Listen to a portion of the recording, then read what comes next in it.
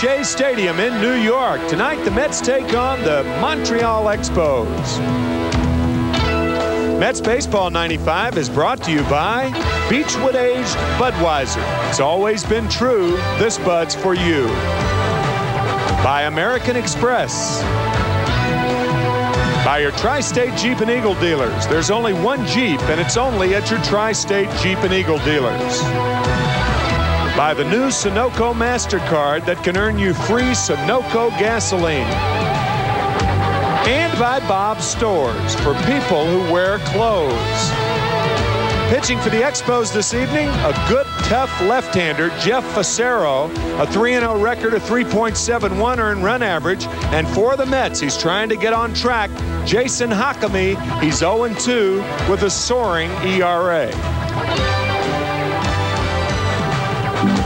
Welcome to New York Mets baseball. Tonight, the Mets against the Montreal Expos in the first of a four-game series. I'm Ralph Kiner along with Tim McCarver, and we're all set to go. A special night tonight, and a player playing third base uh, might win a job in the major leagues. It's cut down time in about three more days, and he's uh, he's in there tonight. Well, because of the strike situation, the Mets have to go from 28 to 25 players. Currently, they have 27 on the roster, and will Edgardo Antonio Alfonzo go down, or will he stay in the big leagues? It's my guess he's going to stay up here, Ralph, and Dallas Green has said that if he does stay up here, he will probably be the regular third baseman, and that uh, entertains all sorts of notions. Will Bobby Bonilla go to first base? And if he does, what do you do with Rico Brogna? Or will Bobby Bonilla go to left field? And then what do you do with David Segui? It's a, it's a pleasant problem to have because he's impressed so many guys up here. And speaking of Rico Brogna, Tim will talk to him in just a moment after this message from 7 Eleven.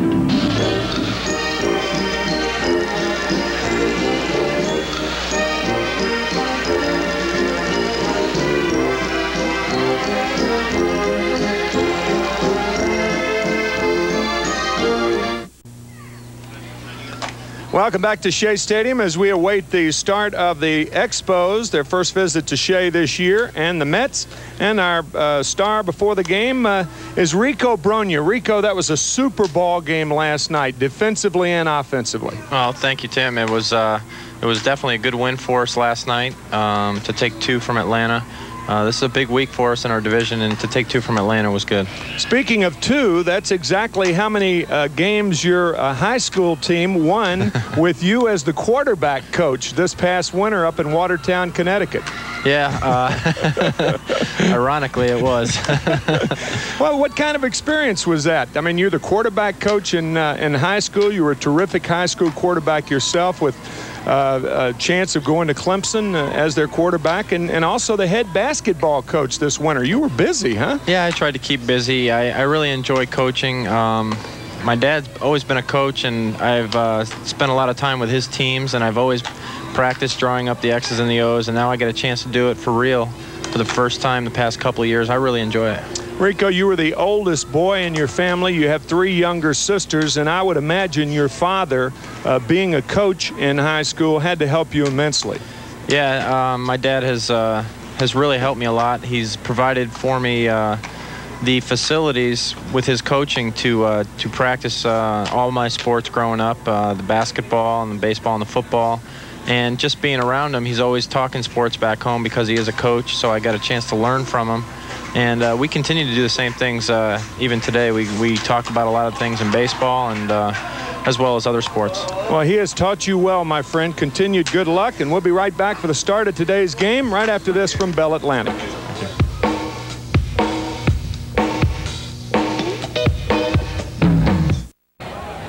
First of a four-game series with the Montreal Expos. The Expos played the Mets in Montreal in a three-game series, winning two out of three. And a happy birthday to Felipe Alou, who is 60 years old today. Felipe, a great baseball player in his major league career and an outstanding manager and 60 years old today. Birthdays uh, throughout the major leagues. Yogi Berra is 70 years old today. And Felipe acknowledging, Felipe, uh, acknowledging uh, your birthday uh, salutation there, Ralph. And also Kristen May Samuels, the six-year-old daughter of uh, Charlie Samuels, the equipment manager of the Mets. There's a lot of birthdays going around tonight. And a happy birthday all the way around. Of course, Yogi Berra, the famous Yogi Berra, celebrating his birthday at home with Carmen, his lovely wife. And I would assume watching this ball game today. There are so many Yogi Berra stories. Bill Madden in the New York Daily News with an outstanding article on Yeah, Yogi today. Mm-hmm. Yogi says a nickel ain't worth a dime anymore. And baseball is 90% mental. The other half is physical. Yogi also the guy that says that 90% of the putts are short don't go in. So the grounds rules being discussed by this umpiring crew. The Expos coming off a big game yesterday with the Philadelphia Phillies winning 13 to 1, stopping the Phillies seven game winning streak. They had 13 runs and 16 hits, a season high. And Montreal coming into this game two and a half games back of the Philadelphia Phillies. The Mets are four games back of the Phillies in fourth place. And the Mets winning two out of three from the Atlanta Braves. Like father, like son. Moises Alou had a big day yesterday. Four for five, a home run. What a fine young talent he is, and he has not signed with the Expos. And what an unusual situation that is. Uh, here, his father is the manager, and his son is unsigned, and his son is not very happy about being unsigned, thinking that he should uh, command big money, and uh, most people agree with him. Pretty hard to disagree That's with right. the amount of stats that he's packed up in his short career in the major leagues. Last year, a fantastic year. And on the mound for the New York Mets, it'll be Jason Jacome, 0-2 for the season, losing one game to the Montreal Expos, a nine earned run average. He's worked 12 innings, given up 17 hits. What is more alarming, 13 base on balls. He walked seven his last outing. That was a career high against Cincinnati. The lineup for the Expos. And it's a tough lineup, even though they've lost a lot. Sean Berry leads it off. He'll play third. Shortstop Wil Cordero batting second. Center fielder Roberto Kelly will hit third. Moises Alou, we referred to him. He'll play right field and hit fourth. Rondell White, what a good looking player he is. He'll hit fifth. Shane Andrews, the first baseman, batting sixth. Mike Lansing, the second baseman, will hit seventh. Tim Spehr will be behind the plate in bat eight. And Jeff Fassero, the left hander, will bat ninth. And defensively for the New York Mets, it'll be David Segui in left field for the New York Mets. Ricky Otero will be in center field. Carl Everett will be in right. Eduardo Alfonzo, the third baseman. Jose Vizcaino, the shortstop. Jeff Kent playing second base, and Bobby Bonilla at first base.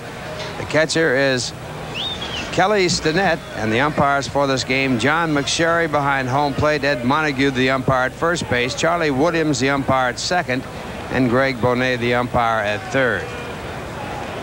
So the first of four about to come your way as Sean Berry steps into the batter's box. Berry hitting 269, one home run, three runs batted in. And the first pitch by Jacome, a called strike. Jacome featuring a very unusual type change of pace. And that is his strikeout pitch, which is also rather unusual. He comes back with a fastball there and is fouled back into the stands. Well, at, uh, at least Jason got by the first pitch in tonight's ball game. First pitch of last Sunday's game, Jerome Walton of the Reds hit a home run. Two straight fastballs to Berry, and Jacome appears the first two pitches to be more aggressive this evening. Yes, he does. There's a pitch outside. He said after that home run that was hit by Walton in that game in Cincinnati that he was thinking everybody was going to have a home run off of him, and that really disrupted his concentration. That's probably why he walked seven guys in that game. Absolutely. It has to be that way. It's a metal block. And this pitch fouled back into the stands. The count stays at one ball and two strikes.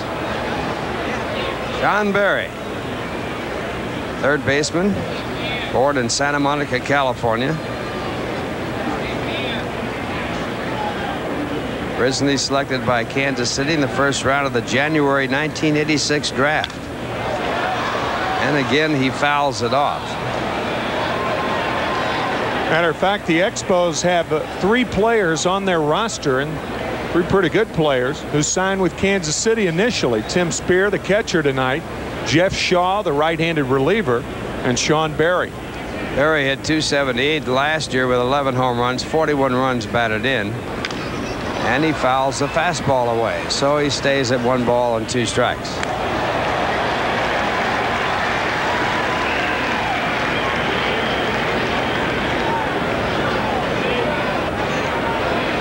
Expos without the services of Larry Walker,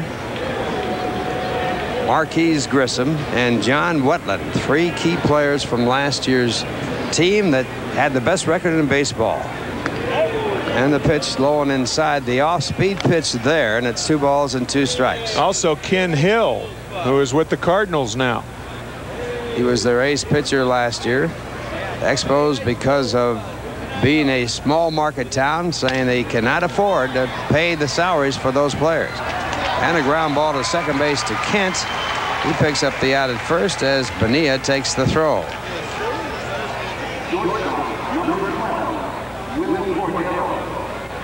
Oh, so Jacome picks up his first out and now will take on the shortstop, Wil Cordero.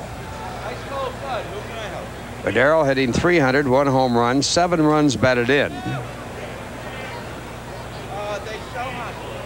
From Puerto Rico, hit 294 last year for Montreal with 15 home runs, 63 runs batted in.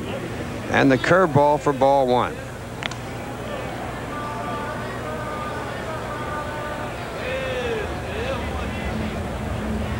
He was signed by the Expos at the age of 16, and he rips that with a great play by Vizcaino. Ole.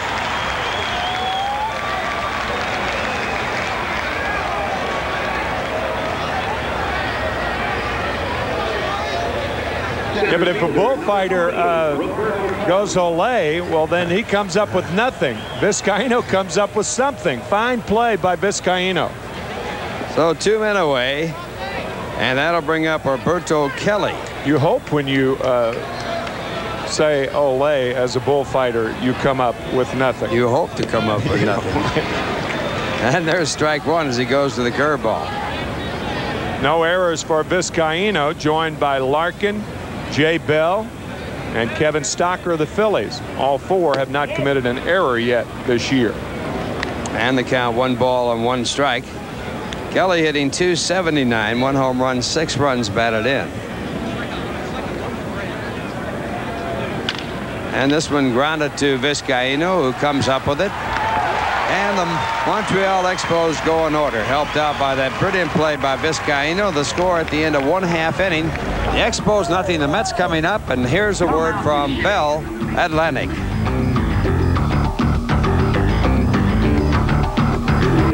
On the mound for the Montreal Expos, Jeff Fassero with a record of 3-0, the first pitch in the National League to win three.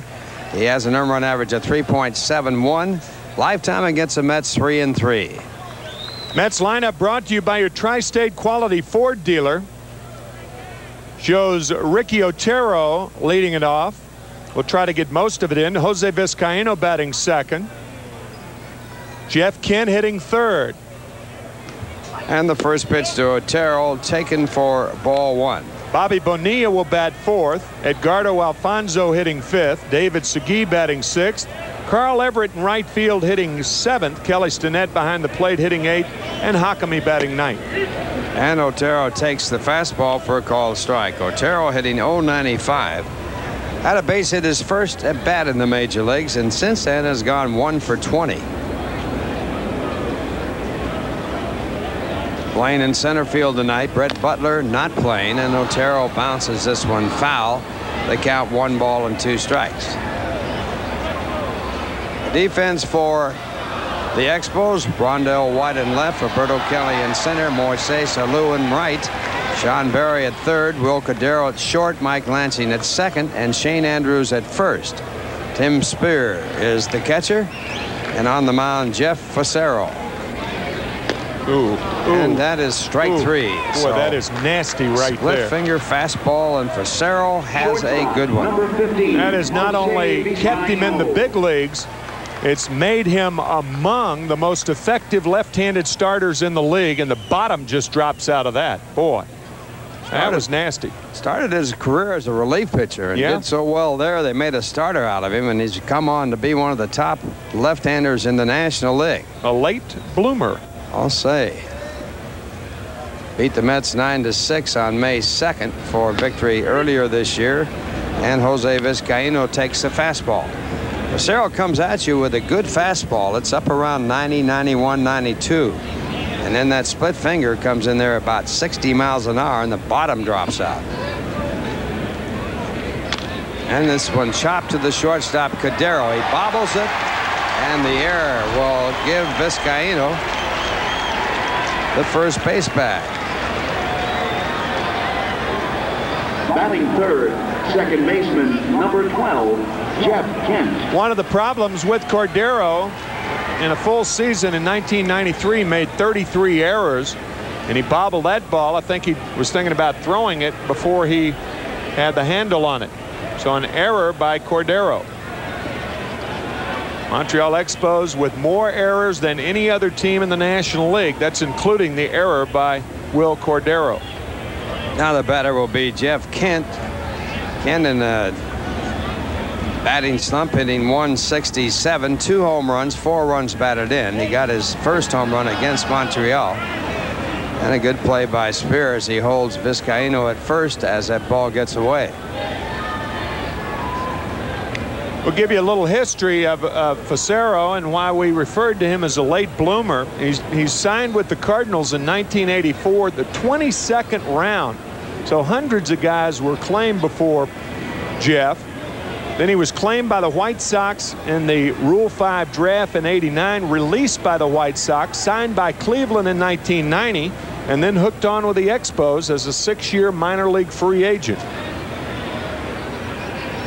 He's And- bounced around, and now he's bouncing uh, nasty splitters It's up amazing. there. Amazing Yeah, how players can do that. Two or three organizations totally giving up on him, saying he has no chance to play Major League Ball. Somebody takes a chance, picks him up out of the minor leagues, and here he is, a pitching star. Perseverance pays off. Cerro 3 0 this year.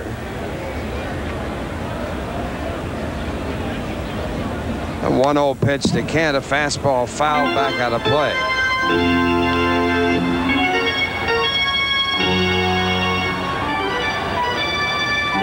Mets with the first base runner, Jose Vizcaino reaching on the air by Cordero. And with one out, Jeff Kent with a count of one ball and one strike.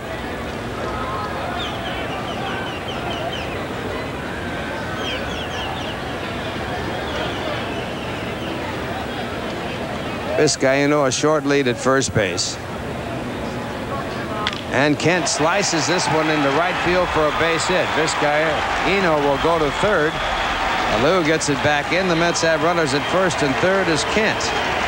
Loops a base hit to right field, and he'll be happy about that, trying to break out of that slump. A little number the other way, and you'd be surprised at how hits of that type can get you going. Jeff has really been struggling. This Vizcaino alertly goes to third. Jeff Kent 0 for 19 with runners in scoring position this year after being second in the National League with a 385 average under those circumstances last year. Now the batter, Bobby Bonilla, who brings a nine-game hitting streak into this game. Bobby hitting 340 with two home runs, eight runs batted in. And the fastball for ball one.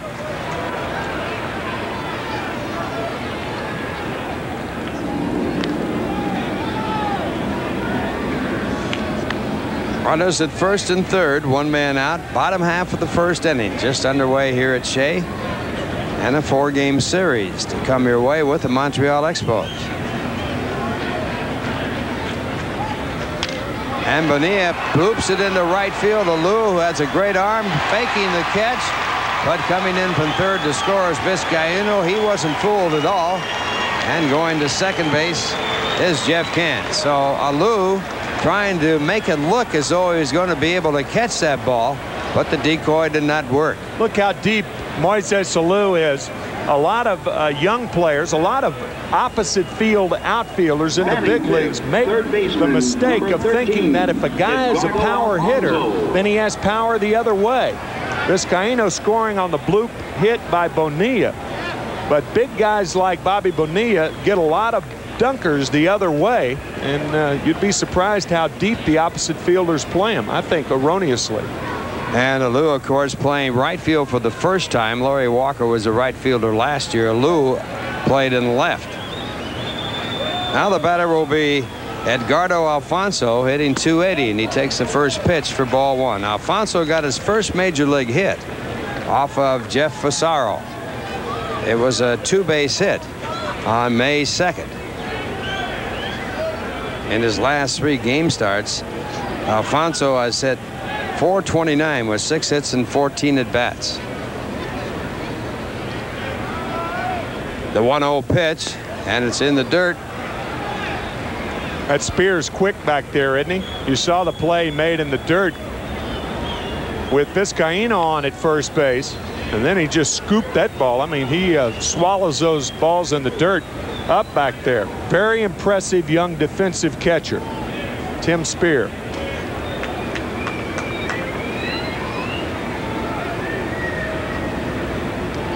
Two balls, no strikes to Edgardo Alfonzo. Kent the runner at second, Bonilla the runner at first. And a drive to right field for a base hit. Won't be able to score Kent. He's being held up at third. The throw in on the fly by Alou. And Alfonzo with a hit there to load up the bases. He hit that ball so hard, Kent had no chance to score. Hey, that's the thing that uh, continues to impress about Alfonzo. How many young hitters are coy enough to go the other way consistently with the fastball away? We've seen Alfonzo do it continuously. Jeff Kent, no way he could try to score on that ball. Another hit for Alfonzo. So the Mets with the bases loaded on the air and a run in. And after the air, three consecutive base hits. And that'll bring up David Segui. So Jeff Fassero being reached for a run on three hits.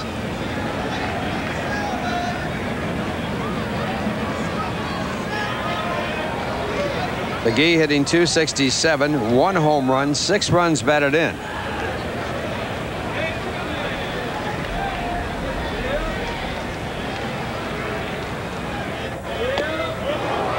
And that's strike one.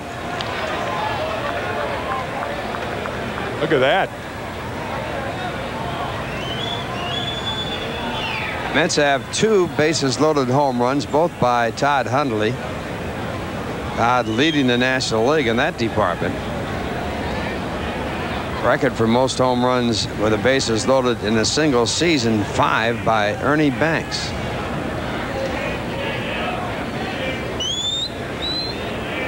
One strike to count. And the breaking ball, one ball and one strike.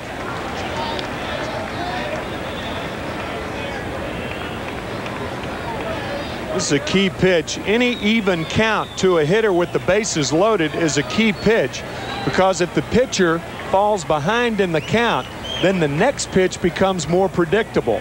He has to come in with a fastball because there's no place to put Segui. Fassero with the count of one ball and one strike. Bases loaded. And he gets strike two. So he gets in front now and the command of the situation goes to the pitcher. Staying in front is always important for a pitcher, but with the bases loaded, it's doubly important. Fastball to hit right there, but Segui taking that pitch. Now he's in the hole, and Fassero with that great split-fingered fastball. And he hits it in the dirt. Good play again by Spehr, and he made a terrific pickup quick, there. He? he is quick. His lateral movement is what is impressive. Tim Spehr with three fine plays this inning, and this is the best one. That was about a 58-foot splitter. Give him credit for calling it and credit for catching it. So the count goes to two balls and two strikes.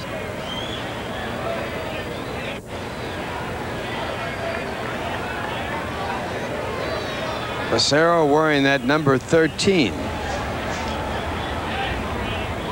Number worn by Ralph Branca for the Brooklyn Dodgers. The 2-2 pitch. And it is low, no swing as the first base umpire, Ed Montague, said he did not go, and that fills the count out. So it's three and two with the bases loaded. This pitch just low. Uh, more than just low. Well low. And Segui holds up. No doubt about Segui holding up. So nowhere to put the batter. And the 3-2 pitch. Ball four, and Fassero walks in a run, and the Mets now lead it two to nothing. That's a great at bat by Segui, wasn't it? I'll say. He took the 1-1 pitch, and behind in the count one and two, some enticing pitches from Fassero. And he coaxes a walk and drives in a run in the process.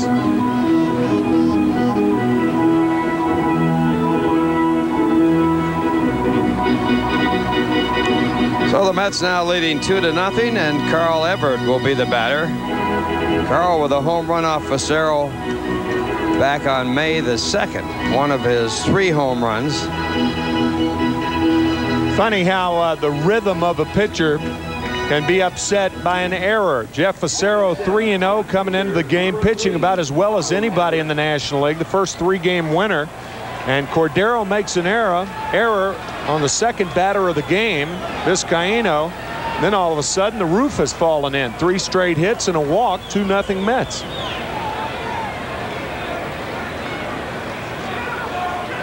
Carl Everett batting at 200 for the year with three home runs, six runs batted in.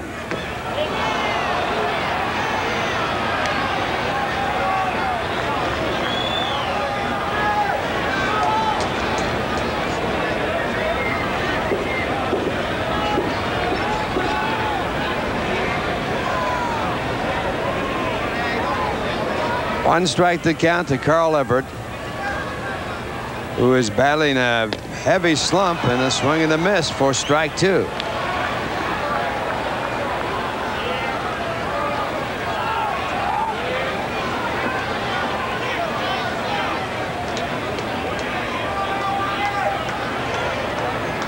One man out, bases still loaded. Bonilla, the runner at third base.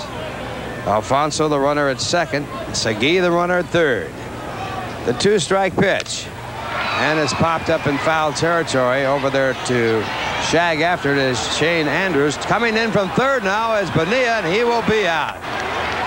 So it will be a double play as Bonilla tried to score on the short foul ball into foul territory back at first. That will end the inning. Mets do get two runs. They had three base hits. There was a walk, one error, and two men left on base. And the score at the end of one, the Mets two, the Expos nothing. And here's a word from NYNEX.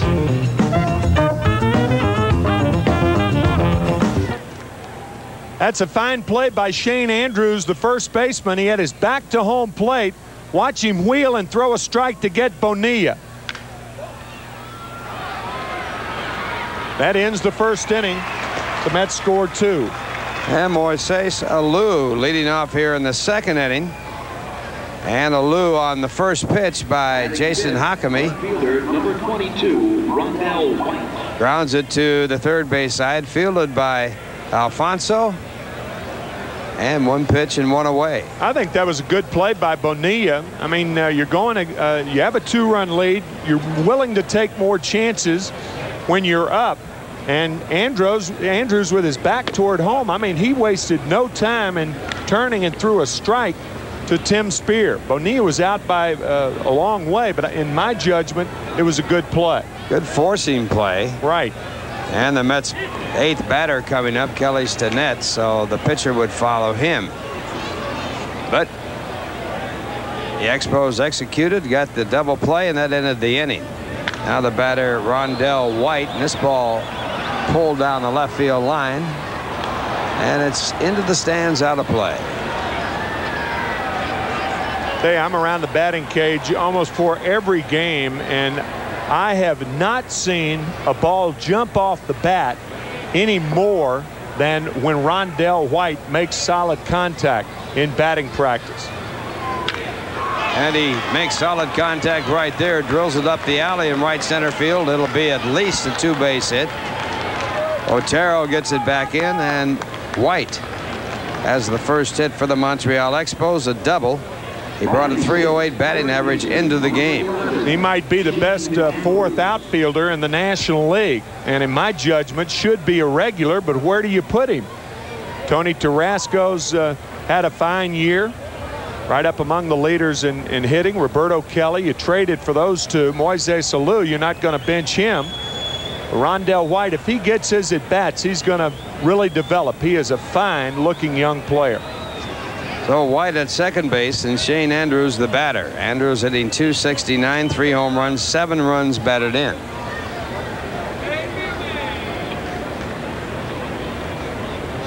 Andrews, a number one draft choice for Montreal, and that pitch in the dirt. Good play by Stinnett. It's ball one.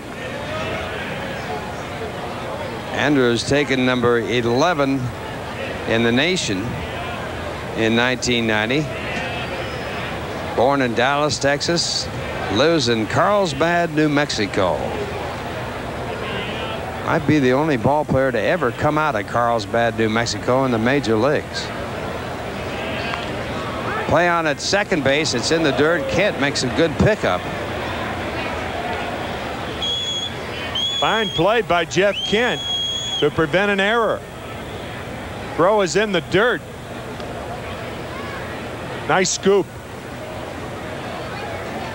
I can't think of uh, anybody uh, from Carlsbad, New Mexico to play in the major leagues. Carlsbad Caverns are there. Carlsbad Caverns are there. Stalactites and stalagmites galore. Maybe the reason why I know where that's what he hit Carlsbad is, it's near where I was born. Near Santa Rita, New Mexico. Rather unusual for a ball player to come out of Carlsbad. Carlsbad Caverns, certainly something to see. They're unbelievable. Now the 1-1 pitch hit hard into center field, chasing Otero back to the warning track. It's over his head, and it will go for extra bases. Rondell White comes in to score. Going to third base is Andrews, and he goes in safely. So Andrews, who won a ball game with a home run in the ninth inning back in April for Montreal, drives one over the head of Otero in center field for a triple. Matter of fact, that was Andrews' first start when he won that game. Hit it off Jim Gott back on the 27th of April. Otero can't get to it. And Andrews, who's a big guy but runs very well, has his first triple of his career. So the tie run is at third with one out. And Mike Lansing is the batter. The Mets playing their infield back at short and second. I'd play him in now. Yeah, I mean, you have the bottom part of the order, Spehr on deck and the pitcher in the hold. Why not play him in? Third baseman and first baseman are in, and the pitch outside. Lansing hitting 212 is driven in one run. I think the I think the chance here, even though it's early in the game, with the bottom part of the order, coming up, I think you ought to have your middle infielders in in this situation. And this ball popped up into left field. Tagging up at third base is Andrews. The catch is made by Segui. The throw to the plate is right on line, but it hits the runner. So the ball hitting the runner, it would have been an awfully close play if it had gone by. Was the net there ready for the play? See, that's why the runner runs inside the line. Whenever there's a throw from the third baseman to the catcher or the left fielder to the catcher, you run inside the line. And when Andrews does it this time, the ball hits him right in the rear end. See how he's running inside the line? There's really no place for a left fielder to throw. That is perfectly legal. In fact, a good base runner Yeah, tries to line up No the question. throwing line and tries to run right where that ball would go to the receiver. Which is inside the line. Right. So it's now tied at two as the Expos come back here in the top of the second. And that will bring up Tim Spehr, the catcher. And Spehr takes the first pitch for a call strike. Spehr hitting 667. Two for three so far this year. Had a pinch hit home run in last night's victory for Montreal. And that pitch a ball, one ball and one strike. Receiving that throw from the left fielder, you might say, well, why isn't the catcher on the first base side? He could do that. But if he catches the ball, he's got to reach back to touch the runner. So the runner has, in effect, pushed the ball toward the inside part of the field. You push it there, slide away, that's how you score. Good base running by Andrews right, right there.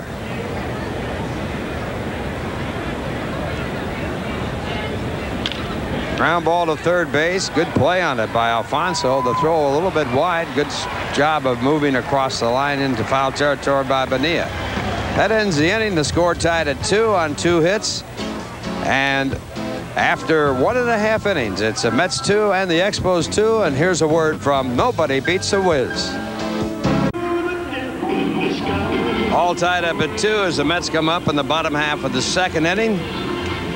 We were talking earlier in the broadcast about the fact that cutdown day is coming up on May 15th. All the clubs have to reduce their rosters from 28 players to 25. And we were just informed that Shane Andrews, who tripled over the head of the center fielder Ricky Otero, was one of the candidates to be sent down. And certainly had a good start with three home runs and you know, Rodger Brulotte was, uh, he's one of the broadcasters uh, for the Expos, and he was nice enough to come over and tell us that. We didn't know that. But the reason is that Chad Fonville uh, was a Rule 5 draft from San Francisco, and if you send your Rule 5 draft back, you lose him or take a shot at losing him. And uh, that's the reason that Andrews will probably be the candidate to be sent down instead of Fonville. And the first batter for the Mets here in the second, Kelly Stinnett. Kelly takes the first pitch for a called strike. Stinnett hitting 300 for the year, three for 10 so far. No runs batted in as Jeff Fassero with his next pitch. Ball hit hard to the third baseman Sean Berry, who turns it into an out.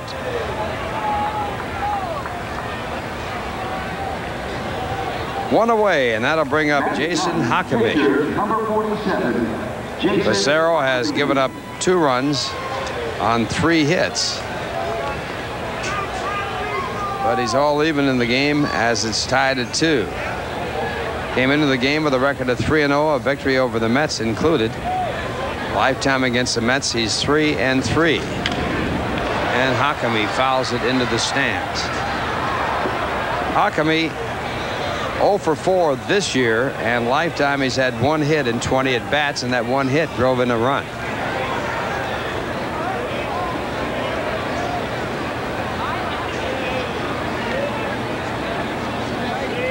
Mets sent seven to the plate in the first inning and got two. And there's strike two.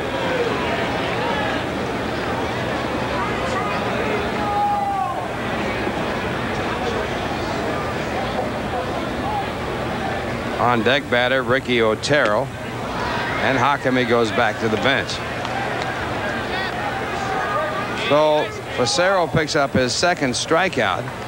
And while there's a break in the action, ought to be a great time to break for the great taste of Bud Light.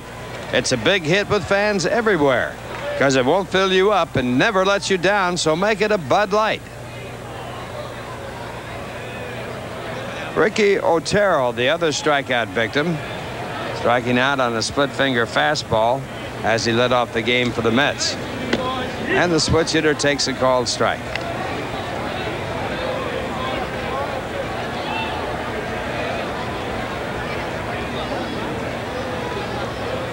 Fassero last year with a record of eight wins and six losses. And Otero with two men out tries to butt his way on. Well, normally that would not be a good play, but Otero's a fast runner, and most of his hits are singles anyway. So for a guy like Ricky Otero to bunt with two out and nobody on, it's not a bad play. The big guys, though, if they do it, that's a no-no. That's a real no-no. Home run hitters. You can't do that. There's a line drive base hit between third and short. So Otero, who had been one for 21, picks up a base hit, his third of the season. Mets get their fourth hit. And it brings up Jose Vizcaino. Jose safe on an error his first time up, and he scored a run. See Tim Spehr looking in the dugout of the Expos, see if they want him to pitch out or not. If you're a base runner with two out and you're the runner at first base and you're a, uh, a threat to steal, you try to do it, generally speaking, early in the count to give the hitter a chance to hit. Big lead at first base by Otero, and that draws a throw. And Fassero's got a good move, too, and Otero's never seen it. There's a look into the dugout.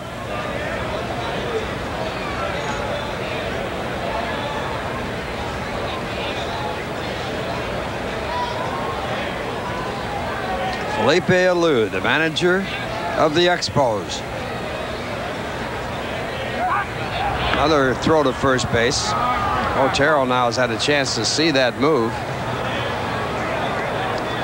Some of the times, pitchers will give you a little decoy. They'll give you a lousy move, and then all of a sudden put yeah. the good one on.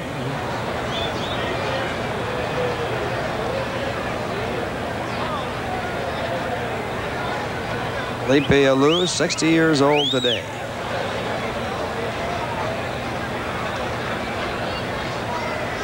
Again, a good-sized lead by Otero at first. And the fastball low and away for ball one to Vizcaino. Gene Mauch used to say that if you're a base stealing threat and you're not going to run, just keep the pitcher occupied. Maybe he'll take his mind off the hitter. Does work. So far, they're certainly concentrating on the situation with Vizcaino, not a heavy hitter at the plate. Worried a lot about the runner at first base.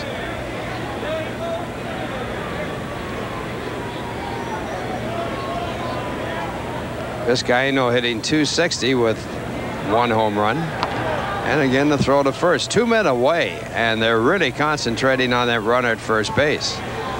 Otero, incidentally, hasn't had a stolen base in his major league career. His reputation does precede him, as he was a good base runner while playing for Binghamton in the Eastern League last year. Vizcaino, a old 91 hitter against Fassero, one for 11.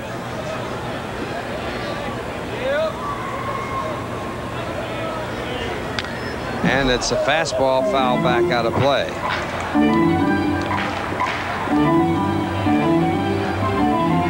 Last year at Binghamton, Otero had 33 stolen bases in 128 games. They're still really working on him. Got to make him proud. Causing this much consideration.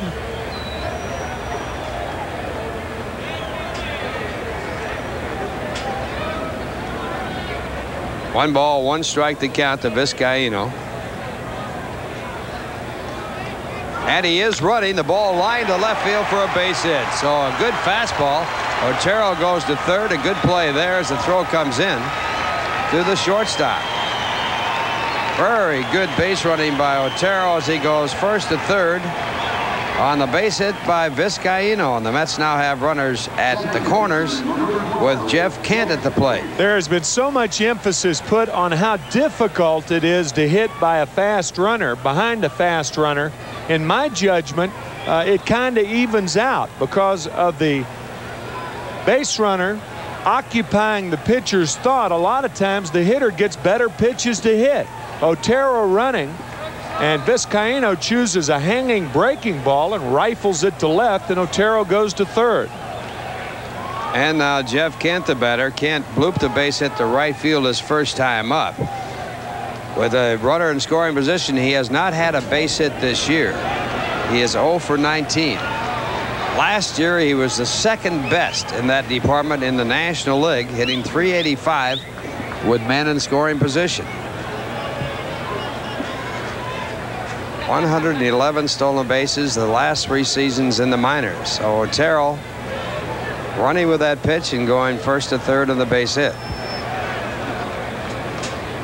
Got to be ready for the wild pitcher with Fassero pitching with that split finger fastball. He gets that pitch in for a called strike. It's one and one. When you think about it, Ralph, uh, the last base stealing threat that the Mets had was Mookie Wilson. And since Mookie's been gone, the Mets have been a base to base type of offense. Wait for the long ball. That's why it's uh, refreshing to see the speed of Otero. Mets have turned their ball club around. Uh, they have picked up quite a bit of speed in making their changes and the throw to first base. Carl Everett, another guy who can run. Ricky Otero may be one of the players sent down on Monday, but he'll be back. And of course, Brett Butler also a right. stolen base threat. Mm-hmm. Mets certainly have the type of ball club that can use the stolen base to some degree this year and also the hit and run more effectively. One and one the count to Jeff Kent. Tie ball game at two, two men out, bottom half of the second. And that ball fouled. The count one ball and two strikes. Major problem that Jeff has had it's kind of been a mushrooming type of thing. You go 0 for 5 with a guy in scoring position, then you start pressing a little bit, swinging at bad balls, and more than anything else, that has been his problem. He has swung at too many bad balls with runners in scoring position. Jeff, with an outstanding year last year, got off to a tremendous start in the month of April.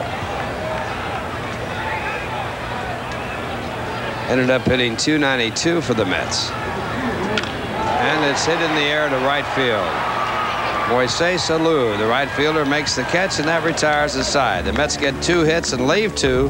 The score at the end of two, the Mets two, and the Expos two. Now here's a word from Meineke. Top of the third, and Jeff Fassero, the pitcher, batting for the Montreal Expos. 2-2 ball game. And on the mound, Jason Jacome, and that pitch fouled off. Fassero 0 for 4 this year. Mets got two in the first. The Expos got two back in the top of the second. Now in the third inning, and that one in there, called strike three. So Fassero looking at the fastball, and he becomes the first strikeout victim for Jacome.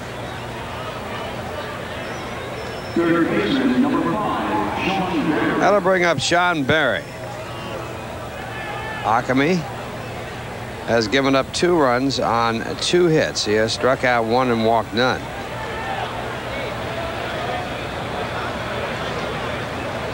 Berry grounded out to the second baseman his first time up. An idea about bunting takes for ball one.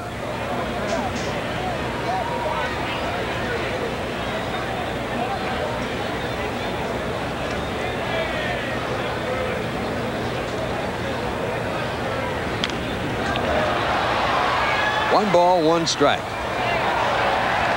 Berry started on opening night in Pittsburgh for the Expos and strained his lower back sliding into second base. He was caught stealing for the first time in 26 tries, going back, of course, to last year.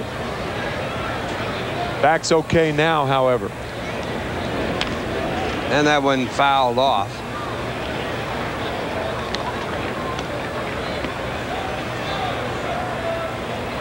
Kind of person you wouldn't think could be successful on that many stolen base attempts. He does it rather quietly. Not known as a base stealer, he has no stolen bases this year in one attempt.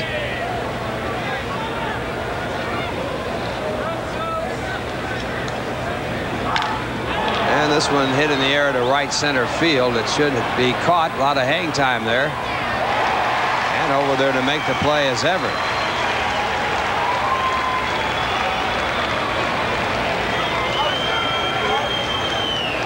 That was the right fielder's ball because the right-hander hit it, and the ball's coming back to Everett and away from Otero. So Everett properly with that right hand up makes the catch. So two men away. Incidentally, Berry last year had only 12 stolen bases, so that record accumulated over two years. Everett makes the play, two men away, and Wil Cordero the batter. Cordero lined out to short his first time up, and he shows bunt and takes strike one. Darrell brought a 300 average into this game. That's strike two.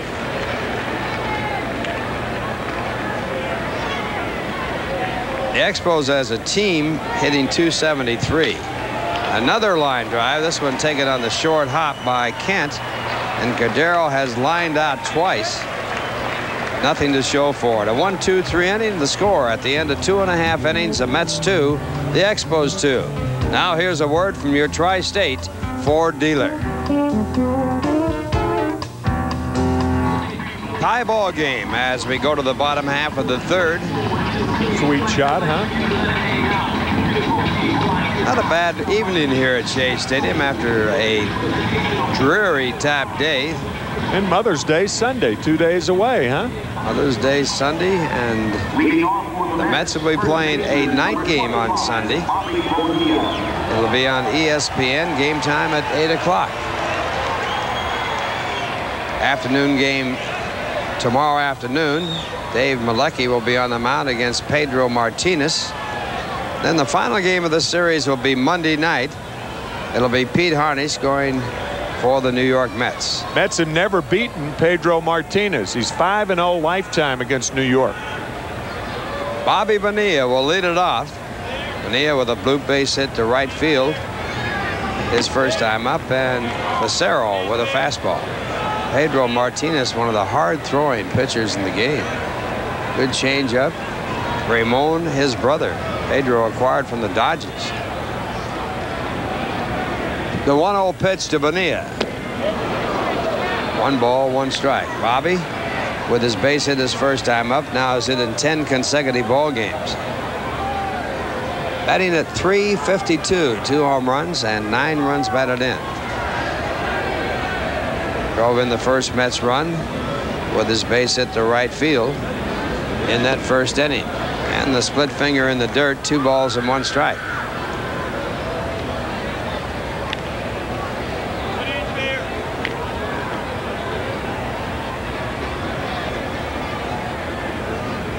Jeff Fassero, 3-0 on the mound. He was the winning pitcher against Jacome up in Montreal on May the 2nd.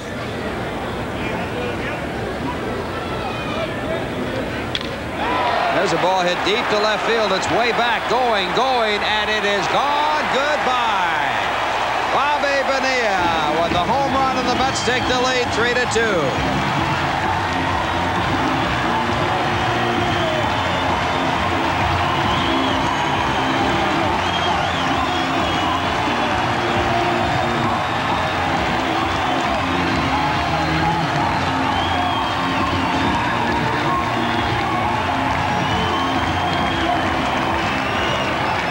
where Jeff Fassero does not like to see Bobby Bonilla come up to the plate. Not only is this Bonilla's third home run of the year, it's his third home run off Fassero and only 14 at-bats for his career. He's 6 for 14 with three home runs now against Fassero. And the batter is Edgardo Alfonzo. Edgardo single to right field his first time up. Batting at 308 for the year with a home run, and he takes high. One ball and one strike.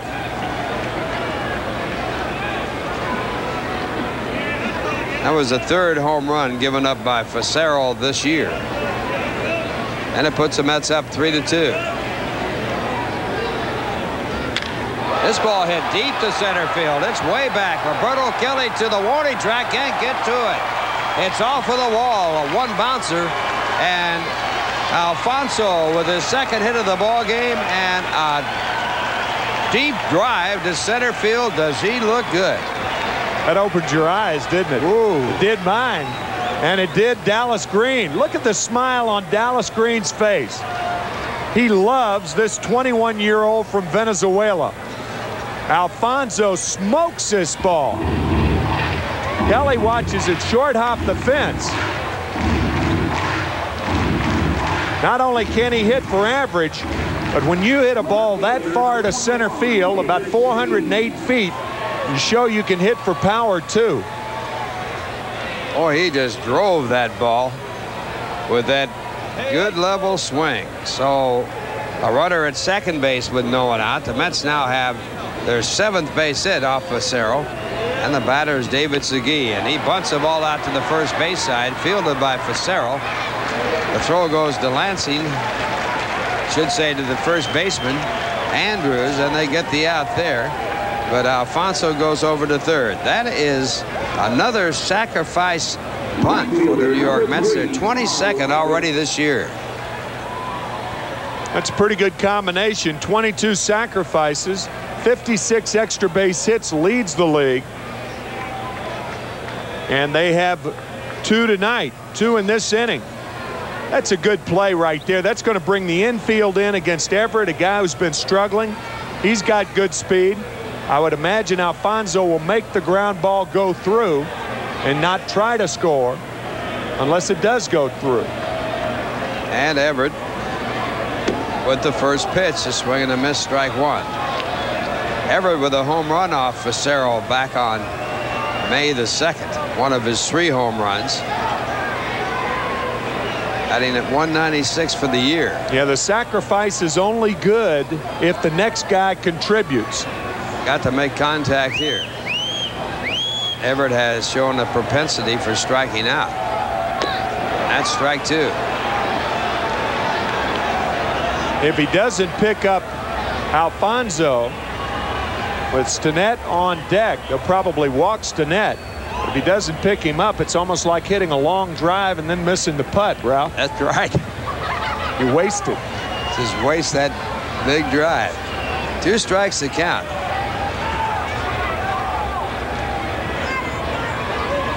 And that breaking ball in the dirt. One ball and two strikes.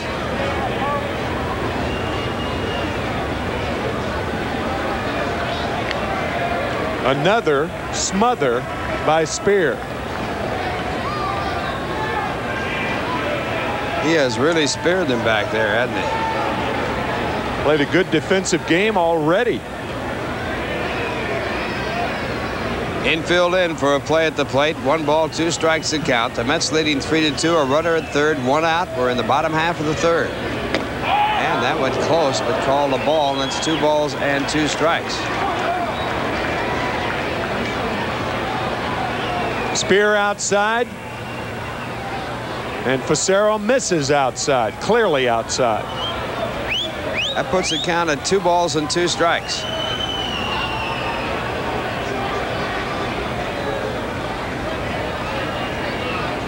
Went after a bad pitch. Split finger fastball. Everett strikes out the 18th time he struck out this year. And that sacrifice now has been wasted.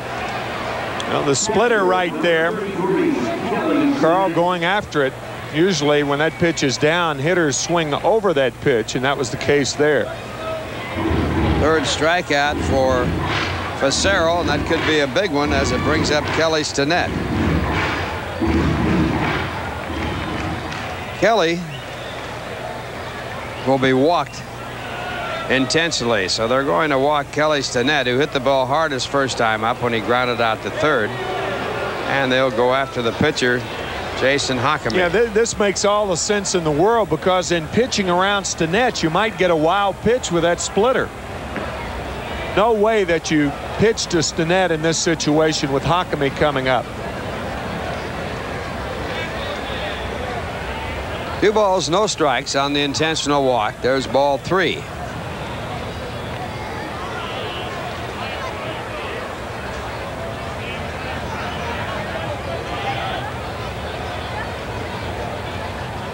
And ball four. So the intentional walk to Stinnett, putting runners at first and third with two men out. And that'll bring up Jason Jacome, who was struck out his first time up.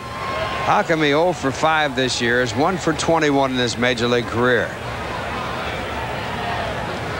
Third baseman Sean Berry in close, about 70 feet away at third base. Runner at third is Alfonzo. The runner at first base, Stinnett. And the pitcher, the hitter. Mets on top by one. And the swing and miss.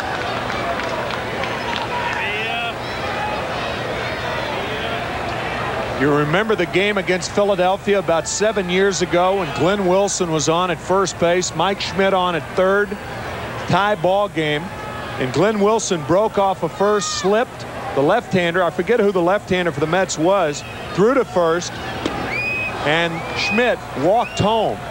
The old It's one fall of those, down trick. Yeah, it was one of those decoy plays.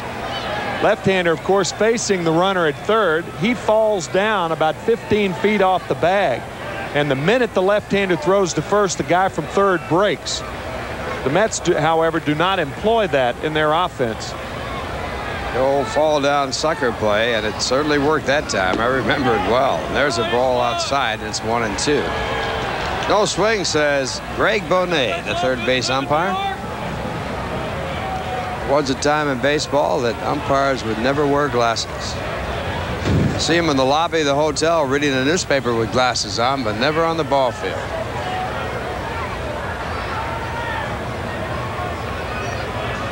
One ball, two strikes. And strike three. So the strategy works. That ends the inning. The Mets do get one in the home run by Bonilla. And they leave two. And the score at the end of three, it's the Mets three and the Expos two. And here's a word from Budweiser.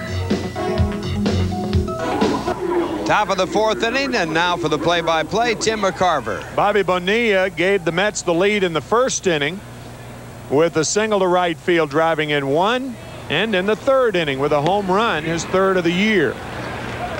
Berto Kelly takes strike one from Jason Jacome. Kelly grounded to short his first at bat. 3-2 New York. One and one to Kelly.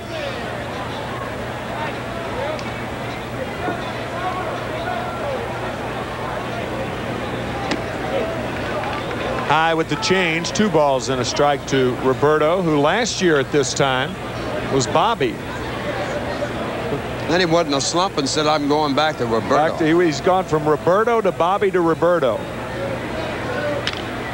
Hit to right field. Carl Everett there. Five in a row now, retired by Jacome. This copyrighted telecast is authorized under television rights granted by Sterling Doubleday Enterprises, LP, solely for the entertainment of our audience.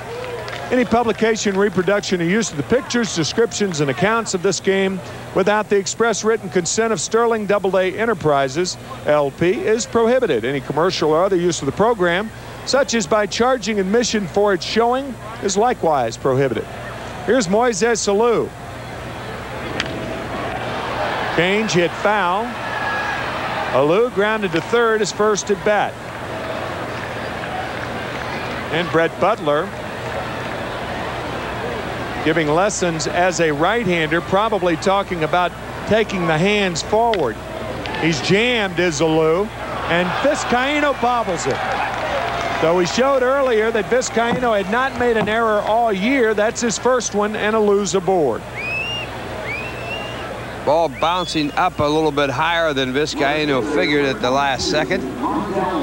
Had the glove down. You see the ball coming up over the top of the glove. And an error will be charged.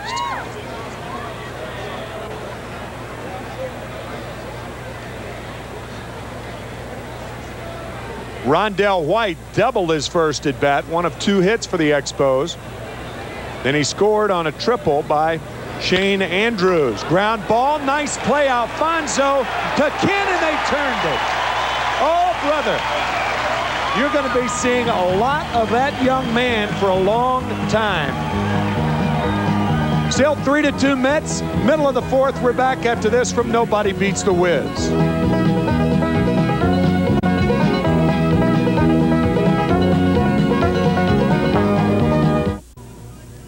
This game with the Mets leading 3 to 2 here in the bottom of the fourth is brought to you by Nobody Beats the Wiz Home Entertainment Centers and by your Tri State Toyota dealer. I love what you do for me, Toyota. Tim McCarver and Ralph Kiner here at Shea Stadium. A good ball game and a fine play again by Alfonzo. Edgardo comes up with this ball, a very accurate, quick toss to Kent, gets a perfect throw from the third baseman, and then the double play for two quick outs to end the inning. Leadoff batter, Ricky Otero. Singled his last time up. He's one for two. He wanted to bunt. He holds up ball one.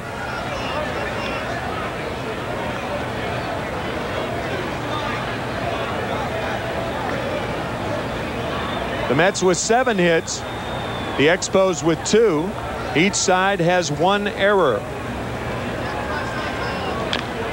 Tap toward third, and it's foul. One and one to Otero. The error, however, committed by the Expos was much more critical as far as Fassero was concerned. With one out and nobody on in the first inning, Jose Vizcaino hit a routine ground ball to Wil Cordero at short, and he booted it, and that opened the gates to two runs. Vizcaino, the Mets shortstop, made an error with one out and nobody on in the fourth inning. And the next pitch, Rondell White grounded into a double play. Another bunt attempt. He takes strike two. One and two to Otero.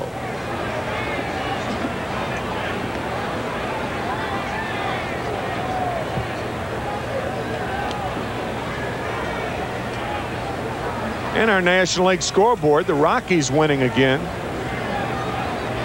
And the Braves with a shutout. That's Greg Maddux, I believe. Phillies with a shutout over the Astros. Pirates and Giants later on, as are the Cardinals, visiting Dodger Stadium in L.A. Two and two now to Otero.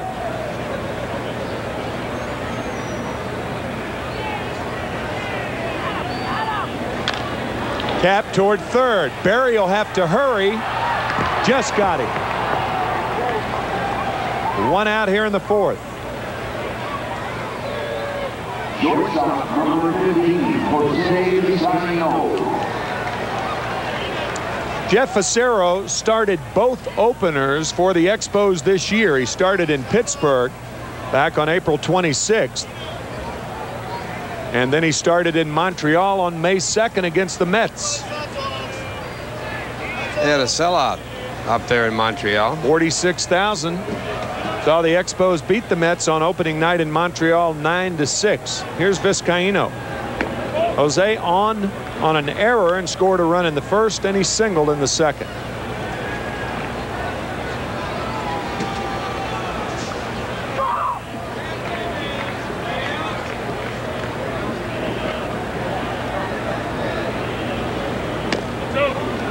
Slider is low. Two balls and no strikes to Jose Vizcaino.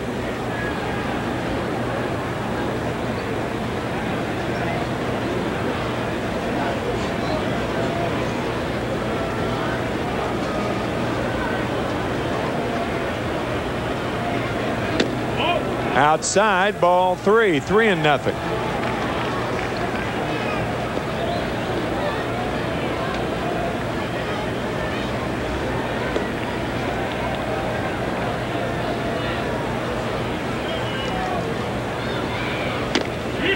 Strike on the corner, three and one to Jose Vizcaino with the Mets on top here in the fourth, three to two.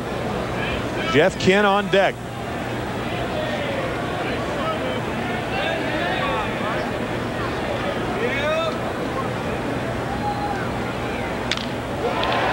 Vizcaino lifts one down the right field line and in fair territory Alou makes the play. Two outs here in the fourth and up comes Kent. Number 12, Jeff Kent. Fassero 32 years old was born in Springfield Illinois that's the land of Lincoln So uh, don't look for him to throw any spitters. He's an honest pitcher, right? I never told a lie. Well, that was George Washington. Toyota American League scoreboard. You can digest that. Kent hits it hard, but a Alou is there. So Kent's problems continue as he lines to a Alou, and the Mets go in order for the first time in this game, but they lead it 3 to 2. We go to the fifth after this from Bob's Stores.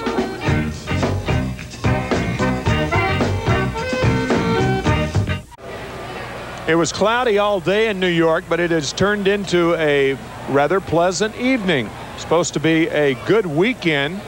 Weather in the 70s both tomorrow and Sunday. And Dynamet's Dash Day tomorrow. The kids uh, really liked that last year. They had a chance to run the bases after the game.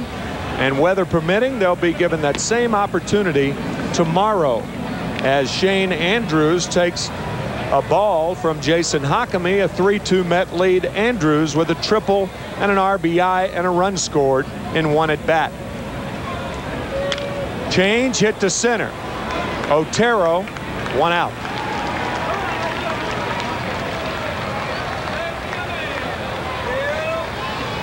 When's the first time that you ever set foot on a major league field?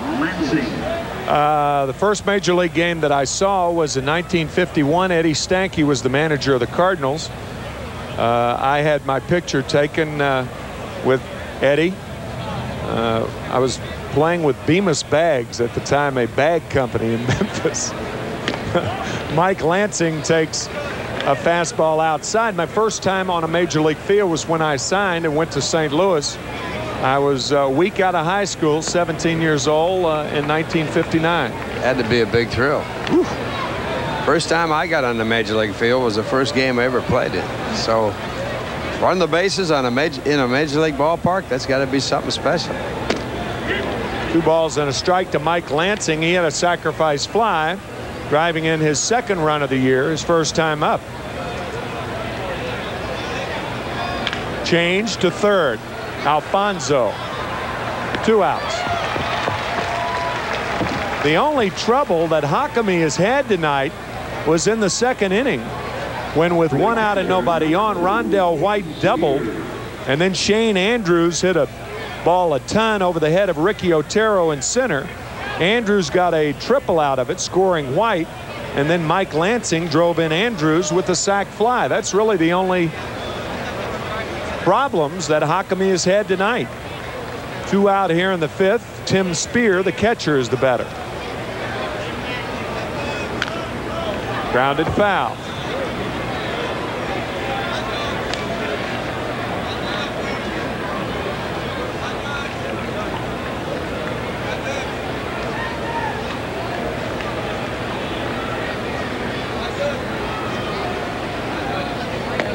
Low ball one, one and one to Tim Spehr. The big out because at the very worst you would have the pitcher Jeff Fassero leading off the sixth inning.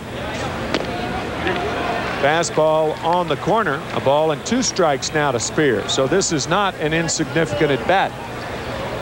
Those not things, that any are, but I mean. Yeah, but it's very important to to retire this batter so that pitcher will lead off the next inning.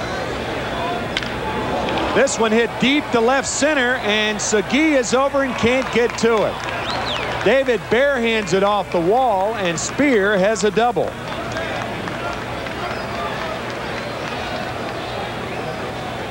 So Spehr with three hits on the year, all for extra bases, a homer and two doubles. And all the hits in this game against Jacome have been extra base hits, two doubles and a triple. He has to play it on the bounce, and that clears the pitcher. Fassero, Fassero is the batter. Jeff struck out his first at bat. 3-2 Mets here in the fifth. Fassero is jammed with the fastball. Nothing in one to Jeff Fassero with Tim Spehr on at second and two outs.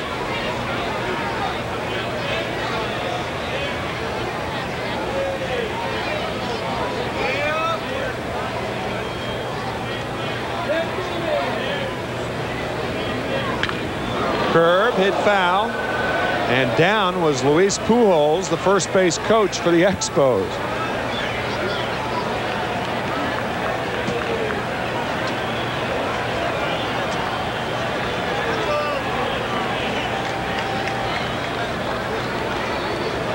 Nothing in two to Jeff Fassero.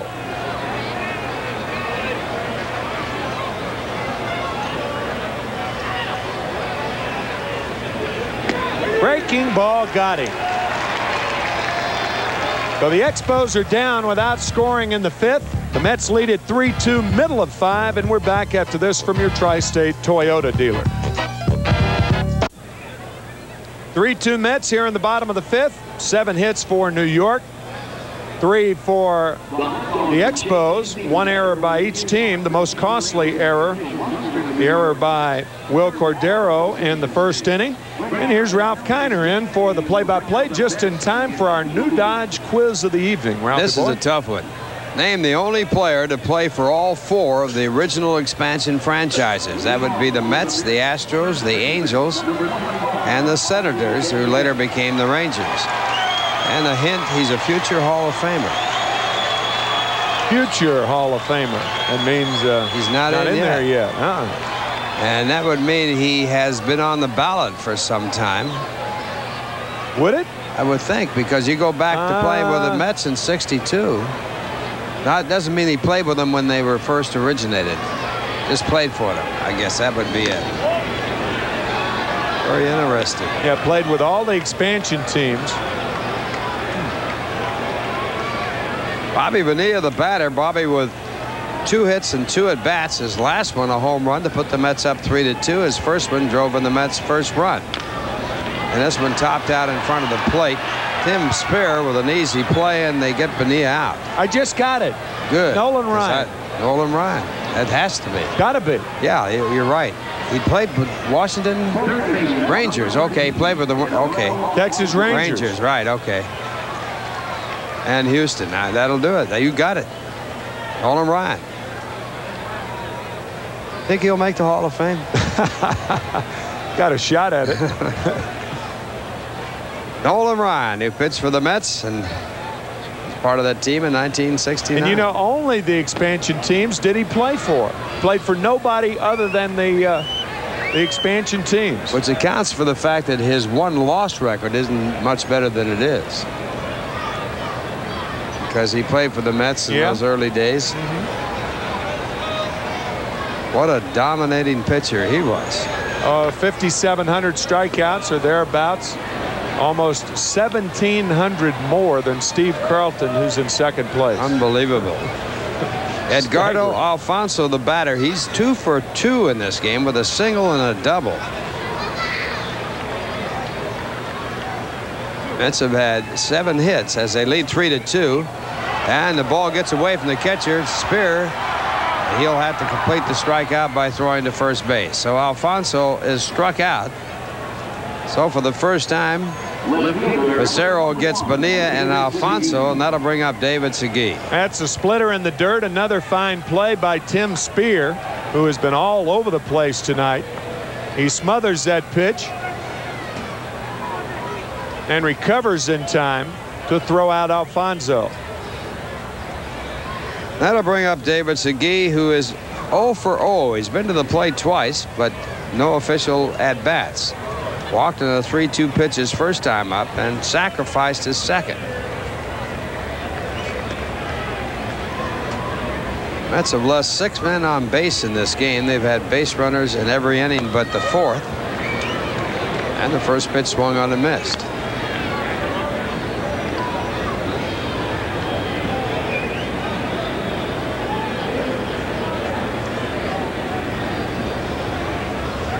He had 267 for the year with one home run, six runs batted in.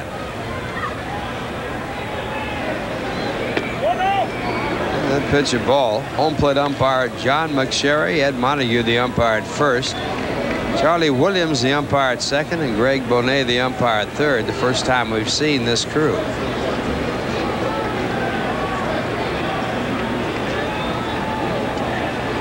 Sherry, the crew chief.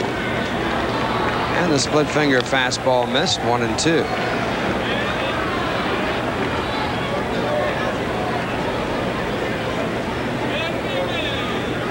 Fassero with five strikeouts. He's averaged five strikeouts a game so far this year. Opposition hitting 266 against him coming into this game. And it's just outside. That time the fastball, two and two.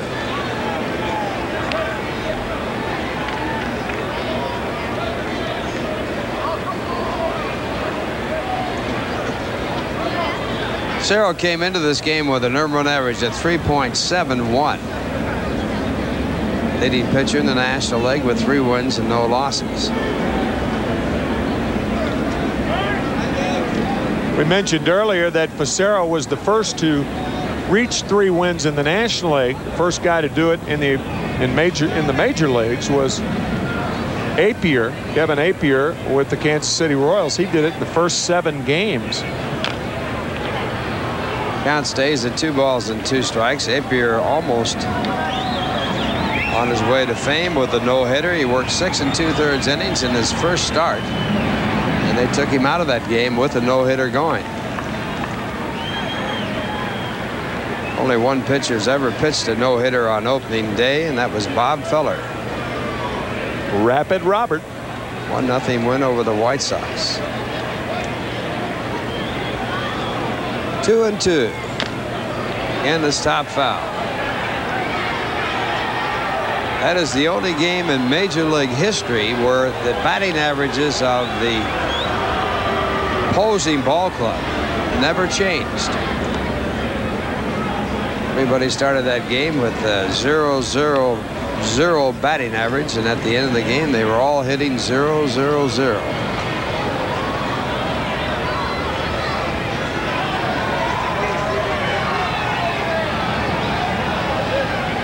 Two and two the count. The Mets leading three to two. Bottom half of the fifth inning.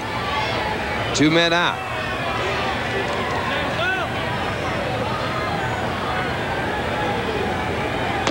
That's strike three. So strikeout number six, a one, two, three inning. And the score at the end of five. It's a Mets three, the Expos two. And here's a word from your tri-state Jeep and Eagle dealer. Back here at Shea Stadium, the top of the sixth inning, the Mets leading by a score of three to two, and Sean Berry to lead it off. Jason Jacome on the mound, and Berry lines it down the left field line. Be a tough play for the left fielder to stop that ball in time. The throw into second is not in time. So David Segui makes a good try on a very difficult play, but Berry leads it off with a double. Well, David slipped going to his right, and it was. Uh, a very good play to make it close at second base. Slipping right there, getting to his feet quickly, and completing the play to make it uh, rather close at second base. First time that Montreal's had their leadoff batter on. Berry with the double represents the time run at second with no one out, and Wil Cordero will be the batter. Cordero's hit the ball hard twice lining out the short, and this time he hits it into right center. It'll be a base hit, and it will be extra bases. Berry comes in to score. That will tie it up, and Cordero in with a double. So back-to-back -back doubles here in the sixth inning, and the Montreal Expos have tied it, and they have the go-ahead run at second with no one out.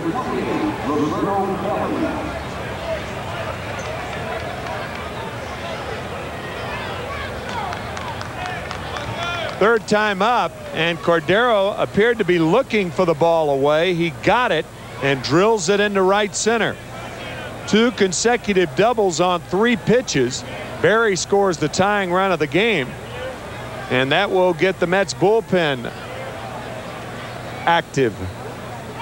Five hits now for the Expos, and all five have been extra base hits. They have not had a single. Roberto Kelly, the batter, and he takes outside for ball one. In the bullpen for the Mets, Blas Minor. So it's tied at three. The Mets have out hit the Expos seven to five, but the Expos in a position to go ahead. And Kelly takes low, two balls and no strikes.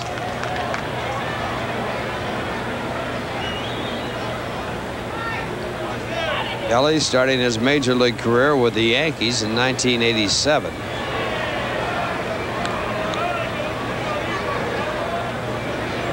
And he hits it in the right center field. Everett back to make the play. Tagged up at second is Cordero. He'll go over to third. The throw is a strong throw, but not in time. Everett with three assists. Cordero leads. going in standing up at third base. I think Alfonzo gave him a decoy. Like there was no play on him. You can clearly see Kelly trying to go the other way, even though the ball was inside. Good piece of hitting by Kelly. Watch him fight this ball off the other way. Well, that's a good at bat by Roberto Kelly. Alfonzo giving Cordero the decoy, and he went in standing up at third. Everett with three assists, leading the National League in assists, has that strong arm. And now, Greg Pavlick, the pitching coach of the Mets, out to talk to his pitcher. The Mets had their infield stationed in for a play at the plate against the cleanup hitter, Moises Alou. Here's that play. Watch Alfonzo giving the decoy to Cordero, and Cordero realizing the play is behind him, but uh, made what should have been a no contest play rather close. Now you got several options here. If you walk a Alou, then you can bring in Minor to face White or a pinch hitter for White. Of course, if you walk a Alou, the chances of a big inning are greater, so they're going to pitch to him. Lewis 0 for 2 in the game. Infield in, hit down to third and off of the glove of Alfonzo, and the throw to second base will not be in time. So Alou drives in the go-ahead run. He gets credit for a double, and the Expos have the lead.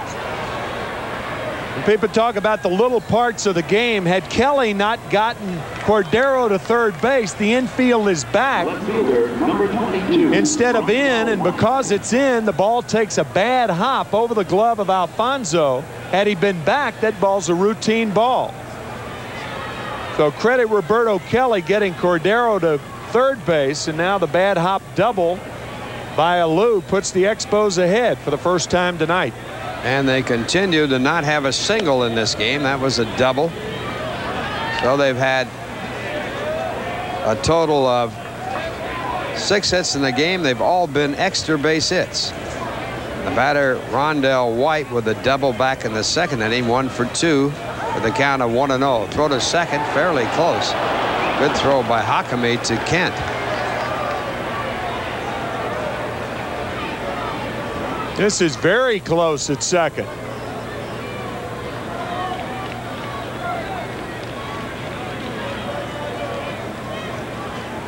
One ball, no strikes.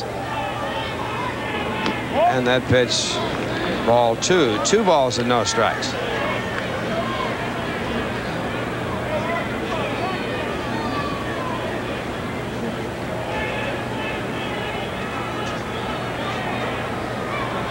Jacome working here in the sixth inning.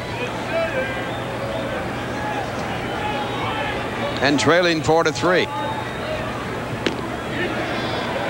It's a strike, two balls and one strike.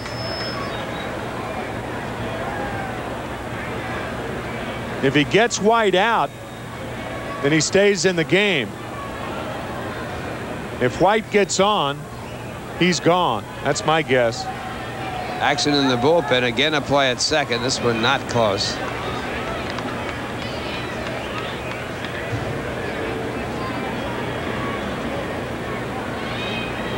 Alou's father, the manager of the Montreal Expos.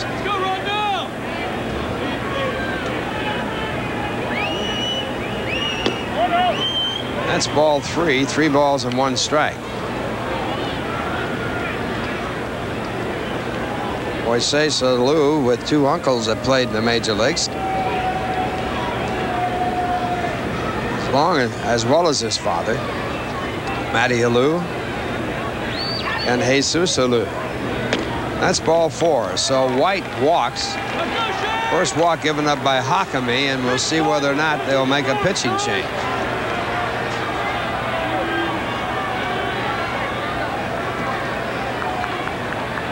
Runners at first and second. Right-hand batter coming up. You know, Dallas is thinking right here. I guess uh, under normal situations, Jacome would be gone, but Dallas, with young pitchers, says that, well, it's part of the growth situation that uh, a pitcher is under, and they're going to have to eventually learn to pitch themselves out of it, and that's what Dallas is thinking right now, obviously.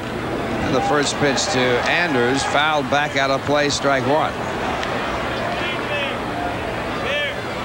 Andrews with a triple in the second inning and a run scored. Also flied to center. One man out, top of the sixth inning. The Mets at double play depth. Montreal with runners at first and second.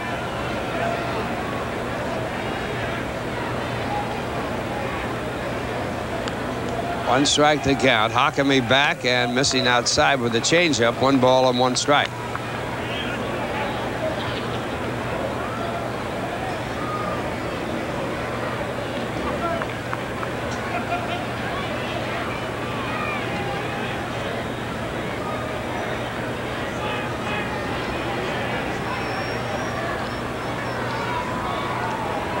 Andrews, the batter, played AAA ball last year. In all of his years in the minors, he's never hit 300. He has shown some power, and this one popped up, and it should be playable. Stinnett over there, Bonilla over there. Bonilla makes the catch. And Andrews is out. Well, it shouldn't have been that close. The call on that ball is not either of the guys who should catch it. The call is the pitcher's. The pitcher makes the call and holds the other guy. That's an old Dodger play. A lot of times, uh, people in the stands, they're yelling, they're excited, they're cheering. You can't hear the other guy call, and this should not be this close. Stinnett does not hear Bonilla. Bonilla looks at Kelly, and it's Bonilla who grabs it out of the hand of Stinnett. But Jacome should be over there calling Bonilla and grabbing Stinnett. Much easier play for Bonilla. Now the batter will be Mike Lansing, and he goes after the first pitch for strike one. Lansing drove in a run with a sac fly back in the second inning. That tied the ball game. His next time up, he grounded out the third with no one on.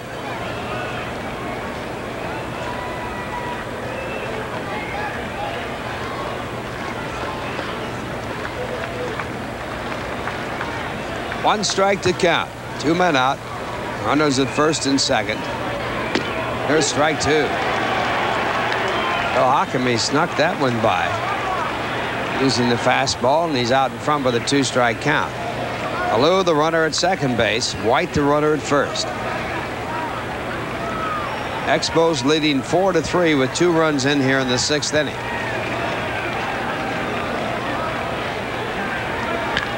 This one hit deep to left field. It's going, going. It is gone. Goodbye.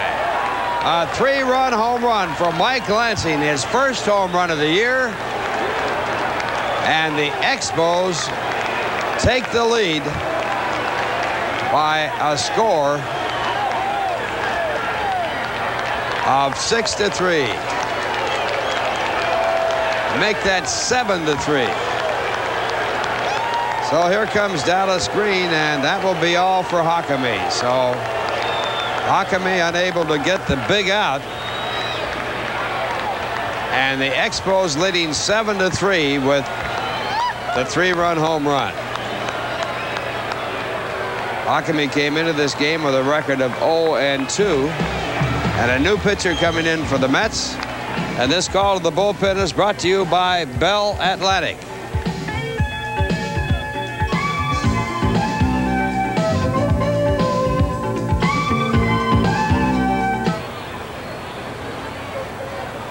Seven to three, Montreal, a new pitcher in for the Mets. Jacome is out of there, and Blas Minor, his fifth game, he is 1 and 0 with an earned run average of three. He's worked six innings and given up two earned runs, two home runs, one of those to Rondell White of the Expos. You know, Ralph, control is not only throwing strikes, it's knowing when to throw a ball. And with the count 0-2 to Mike Lansing, Lansing got a cookie and crunched it. 0-2 pitch. And it's not that uh, you have to throw it four feet inside or four feet outside, but you can't on an 0-2 count pitch a hitter like it's 2-0 and that ball right down the pipe. Fastball right down the middle and Lansing with the three-run home run. So Jason will tuck that away, and uh, the next time you hope you have enough chances to to put into effect the next time what you didn't do this time. But that time, that 0-2 pitch right down the pipe. That'll bring up Tim Spehr, who has doubled in two at bats, and the slider hit on the ground to the shortstop Vizcaino. The throw to first base, and that retires the side. So Blas Minor in one pitch retires the side. But in the inning, five big runs by the Montreal Expos, and the score at the end of five and a half innings it is Montreal 7, the Mets 3, and here's a word from your Tri-State Toyota dealer. Bottom of the sixth inning, the Montreal Expos getting the lead with five runs in the top of the sixth inning. And for the Mets, it'll be the bottom of the batting order coming up. All the hits by the Montreal Expos have been extra base hits. They have left one man on base. The Mets have left six on as you look at the starting pitcher, Jeff Fassero, who is looking on game win number four. He came into this game with a record of 3 0. His first batter will be Carl Everett. Carl in the game has no hits and two at bats. Fassero has struck out six batters in this game. One of them, Everett,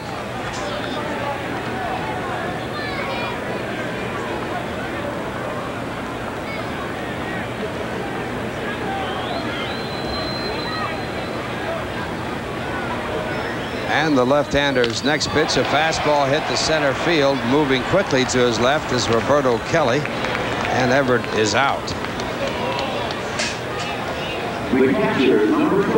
That'll bring up Kelly Stinnett. Kelly has grounded out. He also was walked intentionally in the third inning.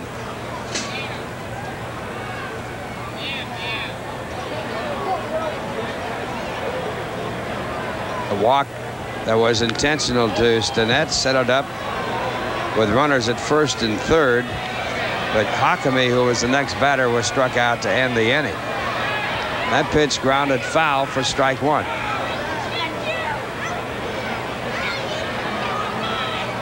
Pitcher is due up next. The Mets have a pinch hitter ready as Stinnett misses that delivery, strike two. Now you look back in a game like this, and uh, as you see Brook Fordyce on deck, he'll be the pinch hitter for Blas Minor. Look back in a game like this, and you look at all your chances early. The Mets with the bases loaded, two runs in, one out in the, first inning. And they couldn't score anymore as Bobby Bonilla was thrown out at home on an attempt to score on a foul ball hit by Carl Everett. You're not going to get many chances against a pitcher the caliber of Jeff Fassero. Fastball fouled away one and two. As a matter of fact, the Mets had a lot of chances way over the normal against Fassero and couldn't really take advantage of it. They left two on in the first, two on in the second, two on in the third. Since then, Fassero has really settled in. Tired the last eight to face him. And they count two balls and two strikes. When you get an opportunity against a top flight pitcher, you got to take advantage of it.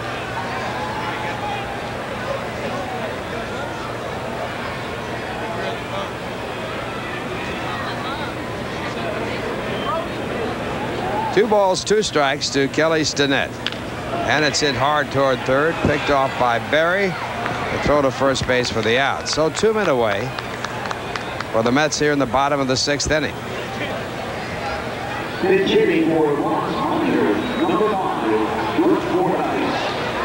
So Brook Fordyce will be the pinch hitter for the pitcher, Blas Minor.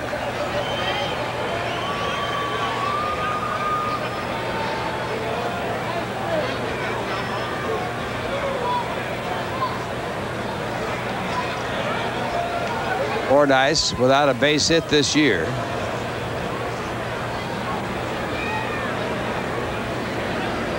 And he hits it hard to right center field. It might drop in. It will. It'll be extra bases. Fordyce going to second base and holding there as Roberto Kelly cuts it off, then stumbles, and Fordyce with a double. For Fordyce, with his first hit of the season, he's been up only once before. Yeah, first hit of uh, his career, and they'll get the ball. Retrieved by Brett Butler. So Brook Fordyce with a double and the first hit of his career and uh, be a, a big moment in Brook's life because I don't think it's a secret. He will probably be one of the two players sent down on Monday. And the thing about Brook, all of his options are gone. And he could be uh, traded, try to move. He's a fine young prospect still, and he plays a position that a lot of organizations don't have a lot of. He's a catcher. And now the batter is Ricky Otero, and he takes the first pitch for a called strike. Then the Mets have the Mets have Todd Hundley. They have Kelly Stinnett, and in an emergency, they have Tim Bogar, who would be their third catcher. So that's uh, one of the reasons that Fordyce is expendable. But it's nice to see him get a get a hit. You never forget those. First one in the major leagues, and this ball popped up on the second base side. So Ricky Otero, who was one for three, is now one for four as a catch ends the inning. One hit, one left, and the score at the end is six. The Expos seven, the Mets three, and here's a word from Budweiser.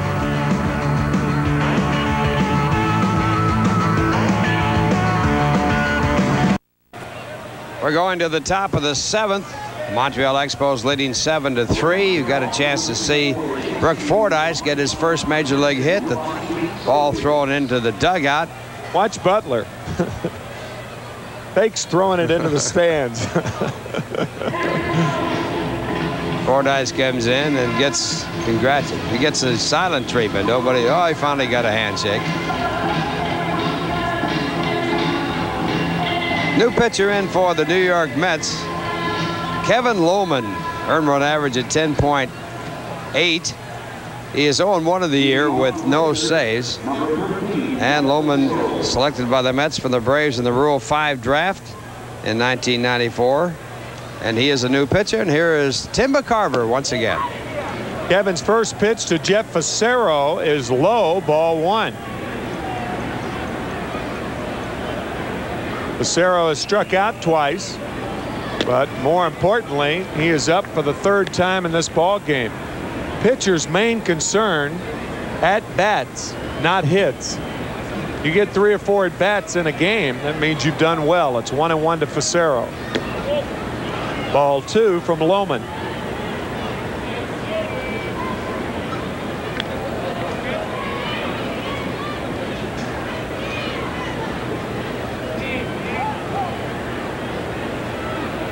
7 to 3 Montreal here in the seventh. Count is even now, 2 and 2 to Jeff Fassero.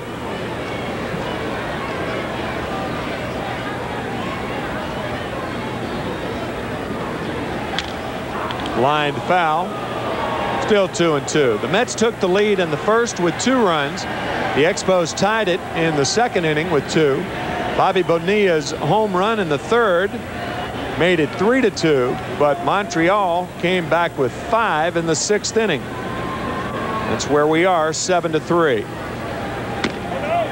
Ball three, full count to Fassero.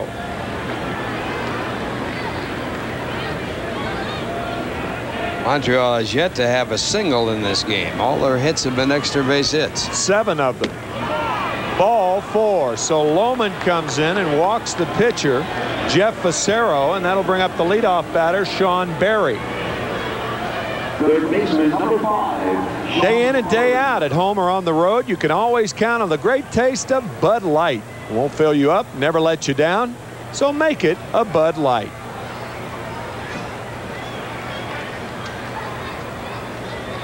Sean Berry doubled to lead off the sixth inning. That was at five run sixth. Capped by a three-run homer by Mike Lansing, the second baseman. His first of the year.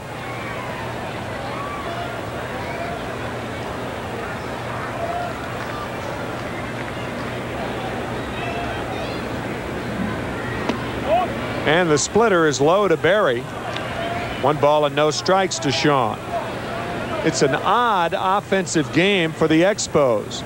As Ralph said, no singles, seven extra base hits. There have been five doubles, a triple, and a home run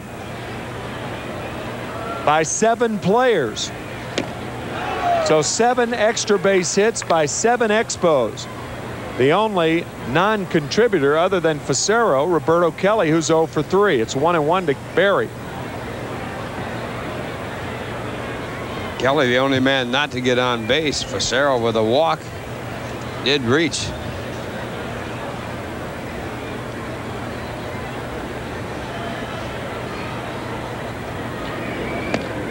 Good splitter there. And it's a ball and two strikes to Berry. Ironically, Roberto Kelly had a great series against the Mets up in Montreal. He was 6 for 14, hitting 429. And in this ball game, 0 for 3. The Expos beat the Mets 2 to nothing, or I should say 2 out of 3 in Montreal. The game the Mets won was capped by a pinch hit grand slam home run in the 10th inning by Todd Hundley. Cued toward first, and Bobby Bonilla's only play is to step on first as Fassero moves to second. One out here in the seventh. Shortstop number 12, Wil Cordero.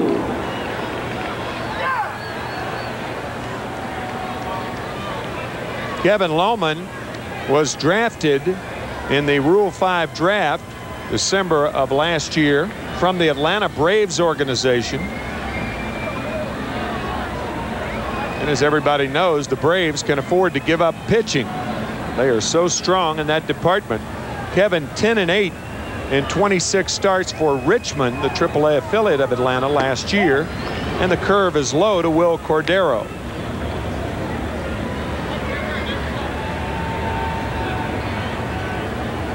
Supposed to be a nice weekend. Clear and sunny tomorrow and Sunday. Chance to get out to a ball game.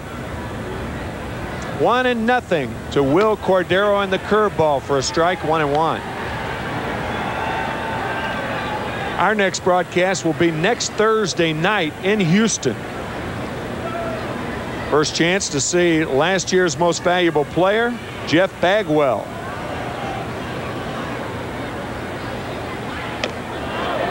Cordero takes ball two. He did not go around, says Ed Montague, the first base umpire. Two balls and a strike to Cordero. Houston on top in the Central Division. Off to a 9 and 5 start. Chicago won their ball game today to actually go into a tie for first with Houston as you look at our National League scores. Tapped foul. The Braves behind Greg Maddux. He is still in there. Last year's Cy Young Award winner. He's won three in a row. Phillies up four to one now over Houston. Cardinals and Dodgers later on, as are the Pirates at Candlestick in San Francisco. Alex just left the ball game in the eighth inning of that game. Grounded off the glove of Lomon. Fassero will go to third base, and it will probably be an error on Kevin Lomon. That ball right off his glove. Center fielder, number 28, Roberto Kelly. Now the ball topped out. Should have been an easy play for Lomon. And it isn't. It'll be charged as an error, so runners now at first and third. Well, Kevin frustrated. It has been a frustrating evening not the whole evening. The first five innings, the Mets were ahead, but then the Expos exploding for five in the sixth. And now with runners on at first and third, Roberto Kelly, the batter. He's 0 for 3.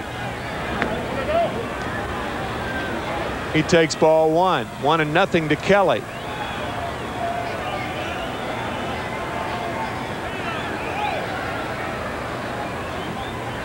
Why would you uh, look at the third base coach that long with runners on at first and third? This is uh, this is one of those swing the bat deals. Yeah, hit the ball and hit it hard.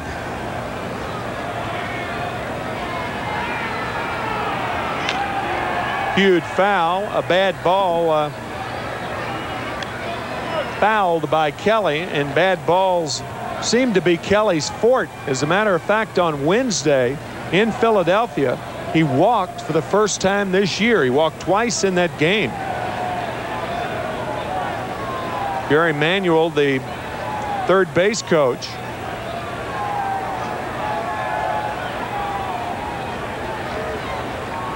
But Roberto Kelly, a bad ball hitter.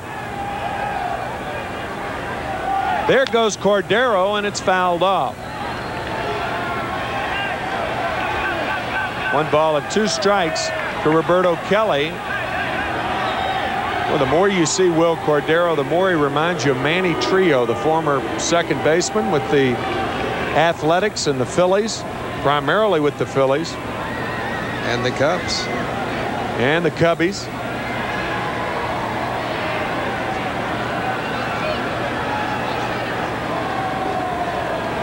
A ball and two strikes to Roberto Kelly, one on, make that one out and two on here in the seventh, seven to three Montreal. Manny Trillo's agent got more money than any agent in the business. Got 100%, 100%. it was his wife.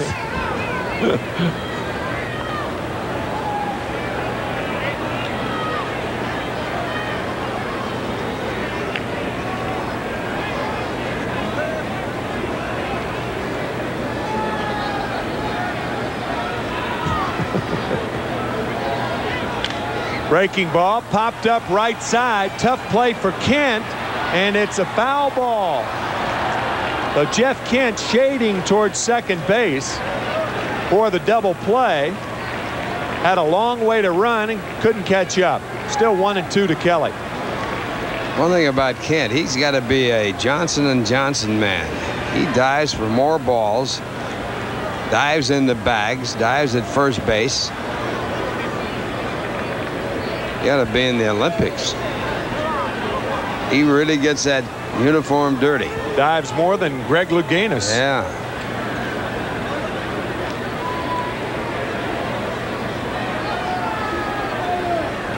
It's like a fastball inside to Kelly here. And it was, and he was jammed, but he fights it off to stay alive, still one and two. Kelly from Panama City, Panama. As a matter of fact, when the United States Army was down, taking Manuel Noriega out of Panama City as we take a look at the Toyota American League scoreboard. Kelly was mistaken down there. He was actually taken by the Panamanian Army as he strikes out. And it was a frightening situation there for a while. First strikeout for Lomon, two outs.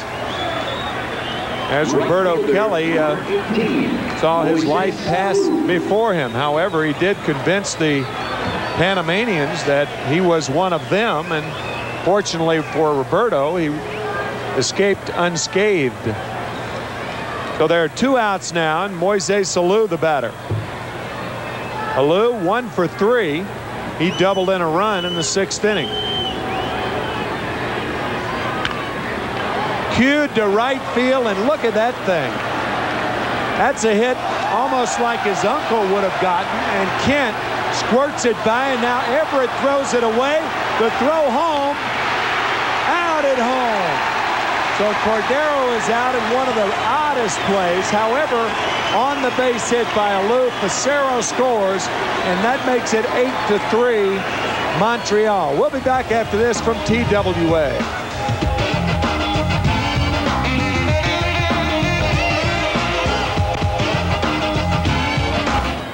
That looked like a Willie Mosconi pool shot to right field by Alou, route to make it 8-3. I like the way you described it, the hit like his uncle might have got, referring to Matty Alou, who led the National League in hitting, but he used to get a ton of these kind of hits. And this is the base hit by Moises Alou as he serves this one out to the right side. Kent goes out there, and it's a skate save here as he kicks it by Everett, who finally picks it up. Everett throws wild to third base. Second base, actually. The ball's picked up by the third baseman, Alfonzo, and he throws home, and they get Cordero trying to score. So the Mets did get the out finally on that play on the throw home. On the play, it was an RBI for Alou and a throwing error on Carl Everett, allowing Alou to go to second base. And a case could be made that two errors should have been given on the play, one on Kent and one on Everett. 8 to 3 Montreal. And Jose Vizcaino the batter. And it's ball two from Fassero.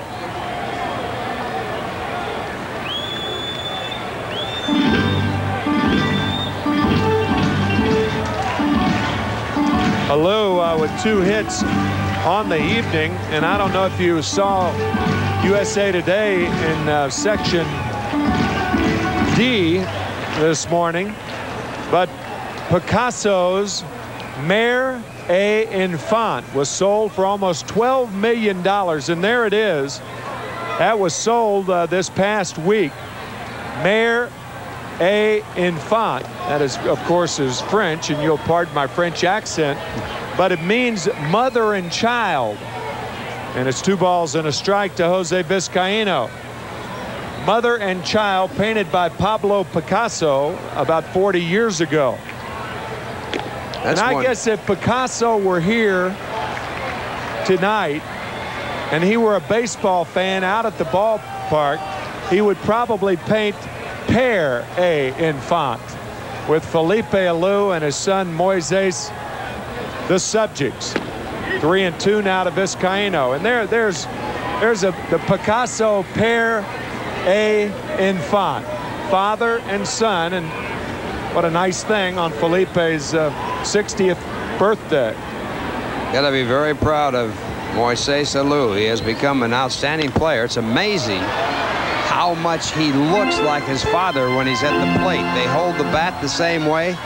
They actually swing about the same way. So the genes certainly coming through as Moises Alou has become an outstanding Major League ball player. Yeah, he is anything but an infant.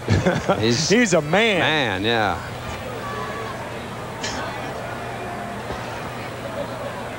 And his pair is a man also. Still a full count to Jose Vizcaino. Ground ball is short. And another error on Wil Cordero. You know, both of Cordero's errors, he's tried to one-hand the ball. Yeah, the other one was a routine play. Here he looks like he's trying to rush the play a little bit. He one-hands it, hits the heel of the glove. And the previous error he made opened up the gates for the Mets to score two runs. Cordero came into this game having made three errors, so he's made five errors already in this short season. Jeff Kent, the batter, as Vizcaino reaches on the error by Cordero, his second of the night. Jeff one for three. He did have a broken bat hit to right field his first time up.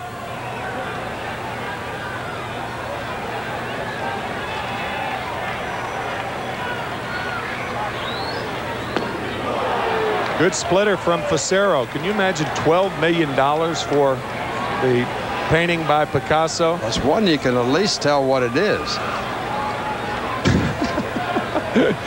In other words, You there are have to- some that you don't know. Yeah, what- I'll be have to use your imagination on a lot of that. Picasso was a little too contemporary for you. He's a little heavy. Splitter is low, one and one. As a matter of fact, at that same auction, uh, Sotheby's, uh, Picasso's I guess it would be Angel Fernandez de Soto, Angel Fernandez de Soto, was sold for $29 million. And 49 years ago, it sold for $22,000. 22,000 to 29 million. Ground ball left side and it scoots through. So Ken has a hit. Two on and nobody out. And Bobby Bonilla coming up trying to get the Mets back into this.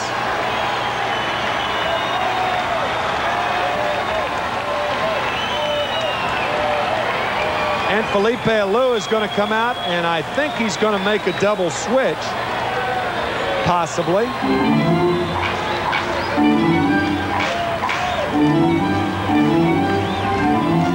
Usually when a manager goes right to the home plate umpire, it's a double switch. The pitcher is scheduled to hit fifth in the eighth inning. John McSherry checking his lineup card.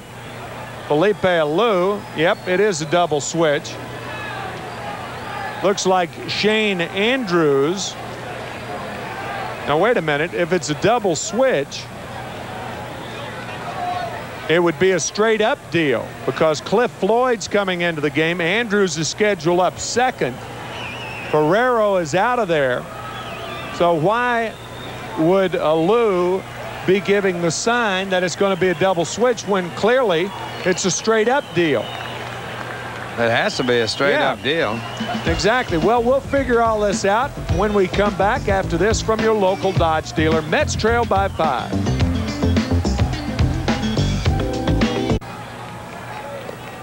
New pitcher in the ball game for Montreal. Jeff Shaw. He comes in with a record of 0-1. He has no saves. Earned run average is 6.10. He has worked 10 in the third innings, giving up 10 hits, striking out two and walking four. And Jeff Shaw, the new pitcher. Well, it's uh, very odd that uh, Cliff Floyd comes in the game and he hits sixth after Felipe Alou gave every indication that he was making a double switch, doing the flip-flop to the first base umpire Ed Montague. Maybe uh, he doesn't know that that means flip-flop.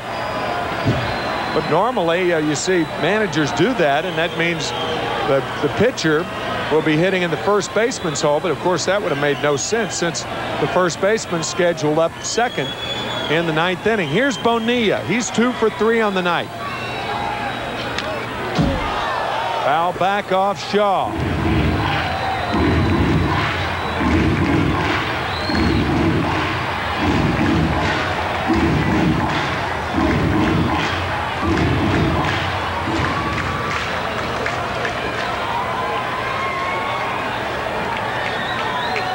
Nothing in one to Bobby Bonilla. The Mets trail by five with two on and none out here in the seventh.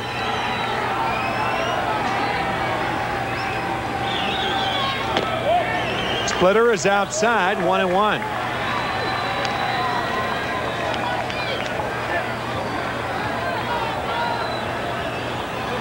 We mentioned earlier that Tim Spehr and Jeff Shaw came to the Expos in the Mark Gardner trade.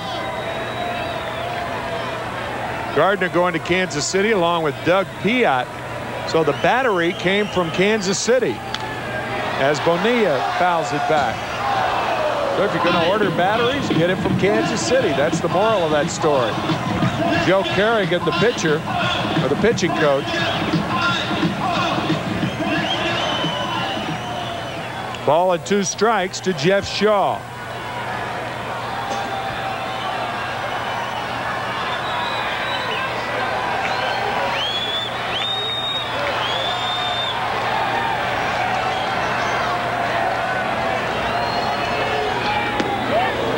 With the splitter. Two and two to Bonilla.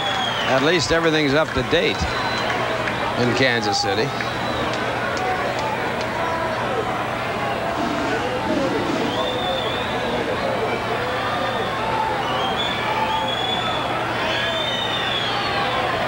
Edgardo Alfonzo on deck. It's up to date now. Uh, our Toyota American League scoreboard, is one to one, California at Kansas City.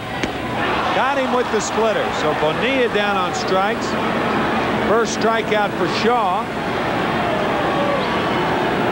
And Alfonzo will sit and Rico Brogna will be the batter. Star in last night's game, a game won by the Mets over the Atlanta Braves. Though Joe Kerrigan, the pitching coach, will go out and talk to Jeff Shaw about how to work Rico Brogna.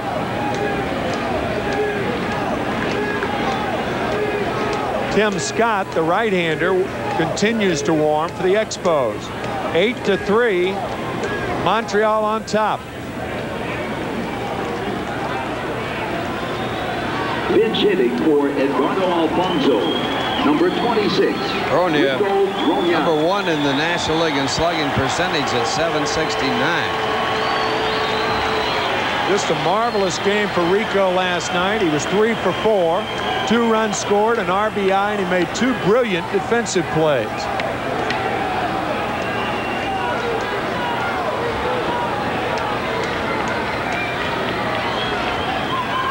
Dallas Green hoping to get a long ball here to get his team back in the ball game.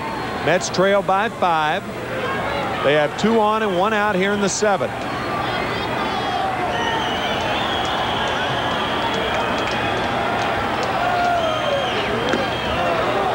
Swings at the splitter. Brogna in one pinch hitting attempt this year. He's 0 for 1. He has, however, hit in all of his nine starts.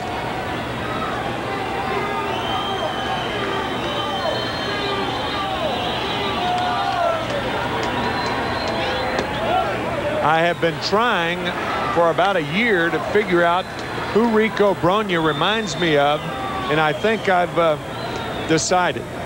Fred Lynn. Good guess. Good, uh, good analogy. Lynn was straight up. Lynn may have uh, cocked his bat a little bit more toward the pitcher, but that is a similar batting stance. Good fastball from Shaw. One ball and two strikes to Brogna. He can emulate Lynn. He's got a great career ahead of him. Yeah. Good short swing. One of the things when you look at Brogna, you say, why didn't he hit better in the minors? And you really have to ask that question because his swing is a very good swing, very compact.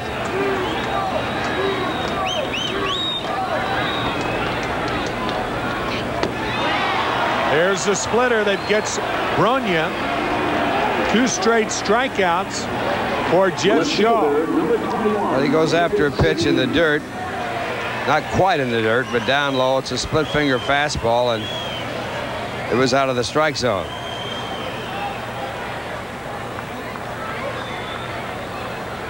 Check uh, Rico's minor league average. He had 21 home runs in 1990, 13 home runs in 1991, 10 in 92, and 12 last year in Norfolk.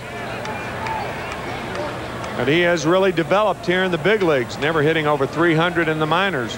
David Segui, the batter now, and another fine play by Tim Spehr, the catcher. Boy, he has been all over like Mike Richter tonight. Well, as you pointed out, Tim, he is quick. Watch how quickly he gets the body in front of that ball in the dirt. Uses that chest protector to block the ball and keep it right in front of him, and the runners have to hold.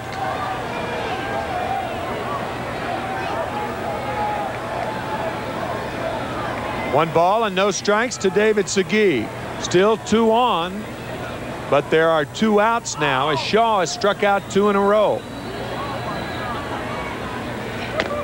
High with the fastball. 2 and 0 to Segui.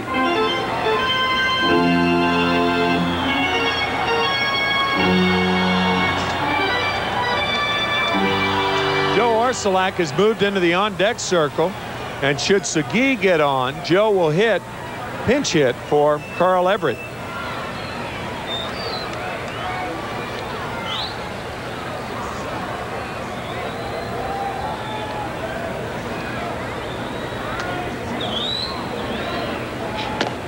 Outside corner to Segui.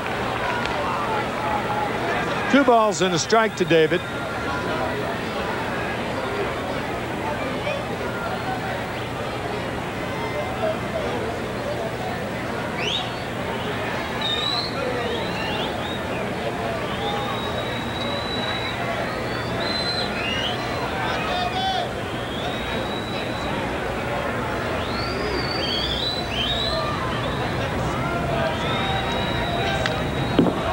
And Segui fouls it back.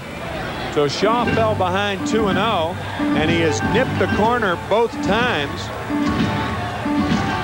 And Segui finds the count 2 and 2, so he can look for that splitter here.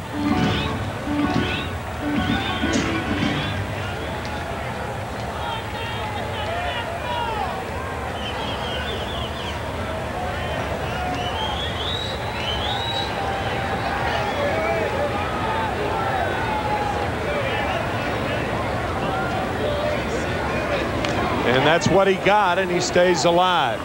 Check swing, the ball hit the bat, still two and two.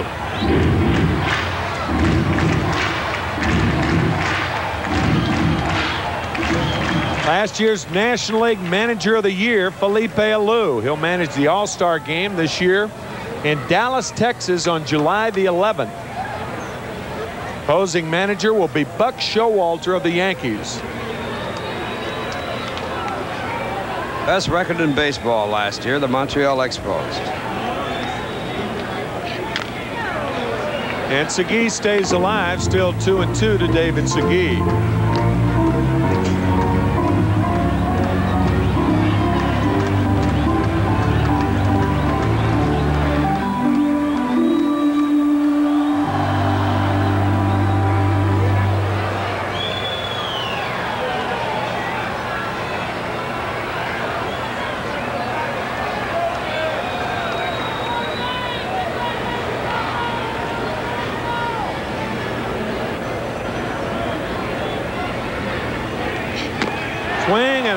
Got him. What a job by Jeff Shaw.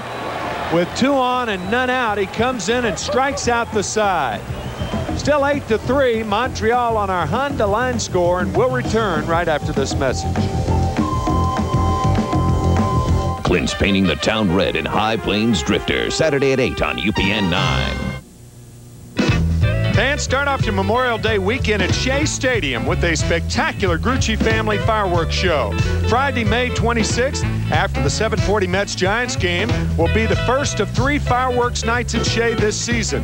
Brought to you by Coca-Cola. For ticket information or to charge seats by phone, call the Mets at 718-507-TIXX during business hours. A per ticket surcharge applies. And don't forget to ask about Amazing May.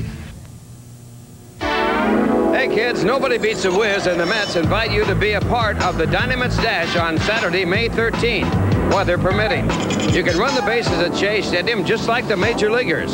So get ready for the DynaMets Dash following the Mets Expo game on May 13th. For ticket information or to charge seats by phone, call the Mets at 718-507-TIXX during business hours. A per ticket service charge applies. And don't forget to ask about Amazing May. Bobby Bonilla has moved from first base to third base and staying in the game, Rico. Brogna, may, you may remember, struck out pinch hitting for Edgardo Alfonzo. Brilliant job of pitching by Jeff Shaw, came in and struck out the side. Rondell White, the batter. And he takes a slider from Kevin Lomon, strike one.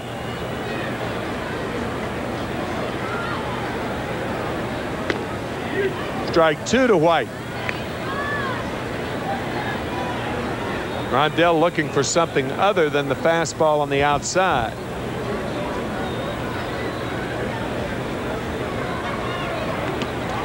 There's the splitter. That is low. One ball, two strikes to Rondell White.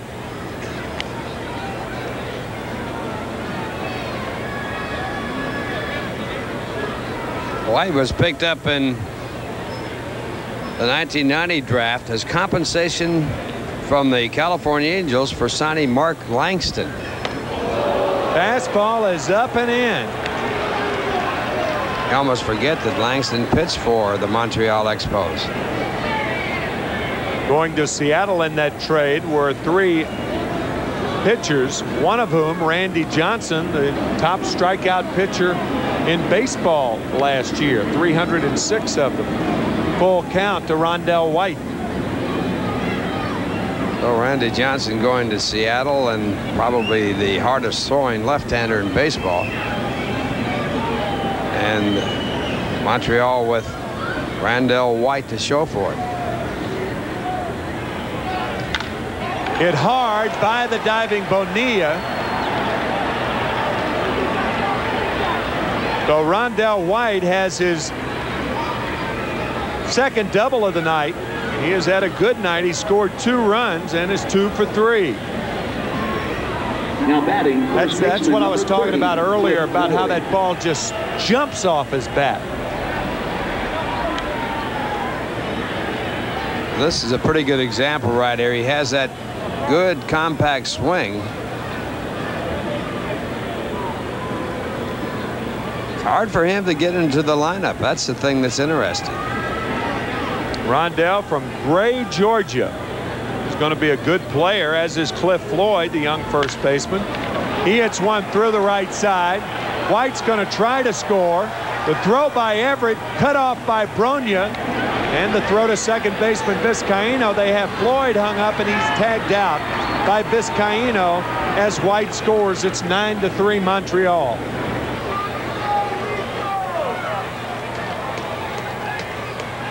So an RBI for Cliff Floyd, his first at bat of the night.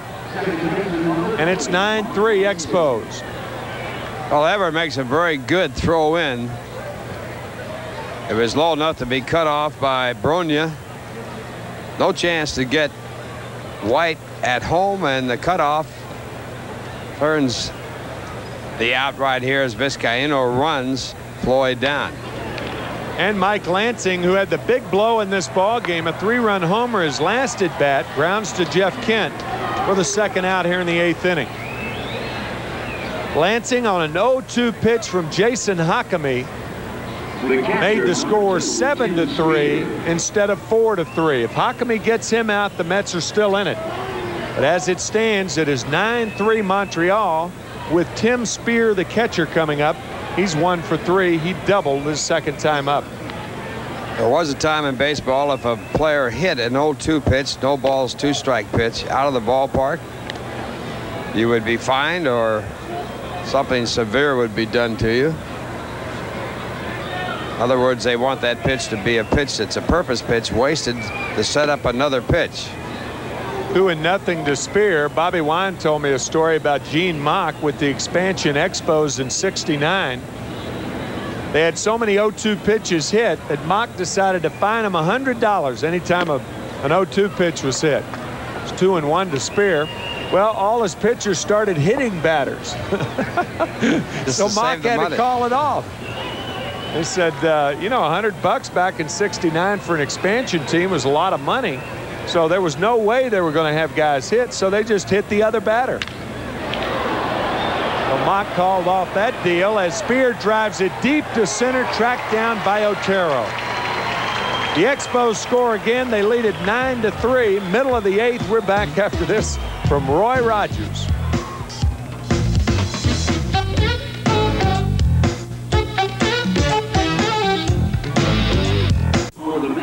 9-3 Expos here in the bottom of the eighth inning. Tim McCarver along with Ralph Kiner. Happy you've joined us this evening. The Mets were leading 3 to 2 in the top of the sixth when Montreal exploded for five runs. They have tacked on one in the seventh, one in the eighth, and Carl Everett will lead it off here in the bottom of the eighth inning. And remember, it was Joe Orsulak who was on deck. He would have pinch hit for Everett had Segui gotten on in the bottom of the seventh, but David struck out and Everett stayed in the game. So now he leads off the bottom of the eighth, but that's one of the things a manager has to do. There's Joe on deck again. But uh, now you let, you let Everett hit. Carl could have been yanked in the seventh had Segui gotten on, and he hits one to the left side. Cordero throws it away, and Everett has an infield hit. Yeah, it has to be an infield hit. So the luck of the draw, huh? That was definitely the luck of the draw. Everett gets his base hit. Cordero, who has made two errors in this ball game, with a bad throw here, but it stays in the ballpark. And it should be credited as an infield base hit. So you wonder if uh, Joe Orsulak's ever going to get to hit. Everett gets on. Orsulak was sent back to the dugout. and Todd Hundley has been called upon to pinch hit for Kelly Stinnett. It is a base hit. Official score. Yeah, that had to be. Base hit.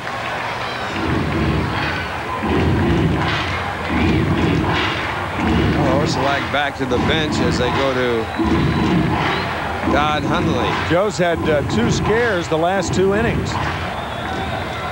So now, now he gets back up again. So maybe the third time's a charm for Orsulak. He's going to get in this ball game, that's for sure. Mets trail by six. Cliff Floyd, of course, plays behind Carl Everett at first base. And Todd Hundley the last time he pinch hit was against Montreal, and he had a grand slam homer. One for three as a pinch hitter with four runs batted in. And the splitter for a strike. Nothing in one to Todd Hundley.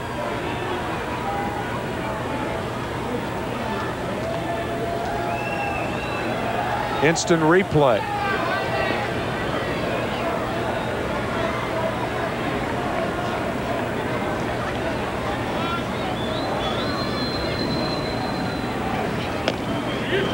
Another splitter, another strike. Nothing in two to Hundley.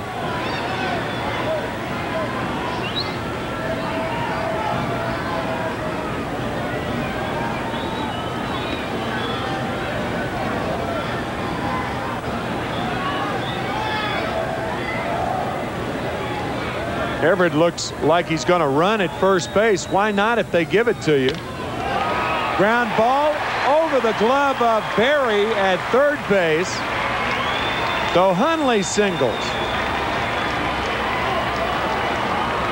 Try to give you a nobody beats the Wiz game summary. The Expos with five runs in the sixth inning, not the seventh, the sixth.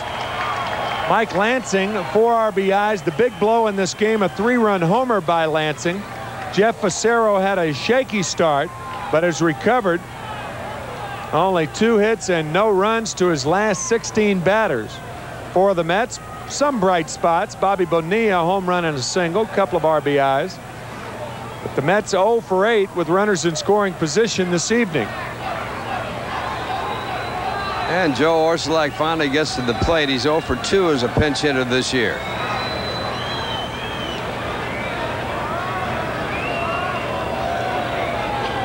Joe trying to pick up some slack, and that's his nickname, Slack. It's one ball and no strikes. To Orsulak, 9 to 3 Expos, two on and nobody out here in the eighth. 348 batting average so far this year with eight runs batted in. 23 at bats. Fastball for a strike. Orsulak turns around and says, John, that was not a strike.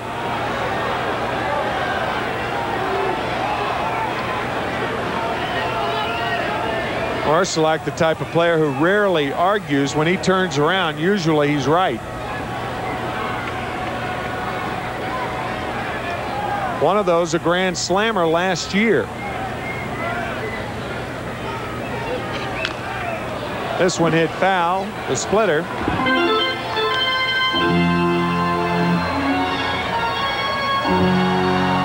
So now Orsulak will go into his defensive mode like a castle with a moat around it.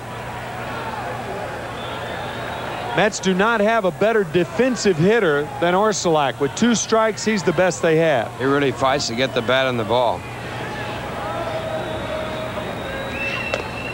Holds up, two and two to Orsulak. Interesting thing watching Joe hit is the movement of his feet. He is a dancer in that batter's box, a little like Hal Morris of the Cincinnati Reds.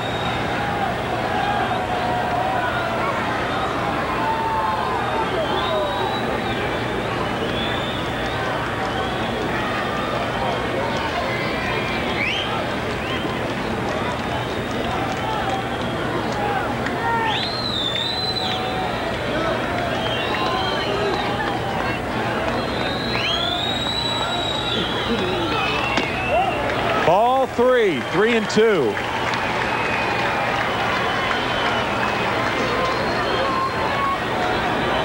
Right here, he fights off his inside fastball. Wasn't about to let that body get away from that position in the batter's box. Runners will not be running. Full count to Orsulak. Mets trail by six. Little looper left side. Cordero back. Can't get to it. Everett slots, slip going around third. Otherwise, I think he had an idea about scoring. Actually, he should not really take a chance in no, this spot. No, you're right. Bases loaded, nobody out, three straight singles, but that's an idea of how Orsulak hits with two strikes. He somehow finds a way to do it. This is a fastball, hits it right off the trademark, bloops it in the left field. With no one out and the Mets trailing by six runs, Everett has an idea about scoring. He's held up at the last minute and he falls down trying to stop and he gets back safely. But the Mets should not take a chance in that spot, and Mike Cubbage, the third base coach, stopped him there. How do you figure this game out? Jeff Shaw comes in with two on and nobody out in the seventh, strikes out the side. Here in the bottom of the eighth, he gives up three straight hits. The Mets have the bases loaded and nobody out, and we'll see how they do after this from Sunoco.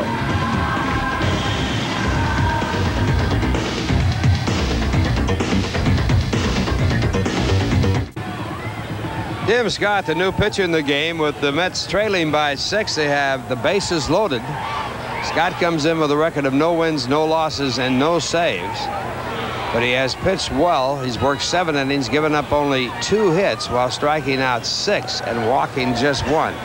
Tim Scott in relief of Jeff Shaw. A rejuvenated career for Tim Scott. Selected by the Dodgers in 1984 and then signed by the Padres as a six-year free agent. It seems like the Expos pick up a lot of guys like that. They picked up Fassero like that. They traded for Jeff Shaw, and now Tim Scott was signed as a six-year free agent. He's only 28 years old, and Mel Rojas, the ace of the bullpen, is up and throwing for Montreal. The six-year minor league free agent Scott was. He signed with San Diego. He came to Montreal in the Archie Cianfrocco deal back in 93 as you look at Carl Everett at third base, Todd Hundley at second base, and Joe Orsulak at first.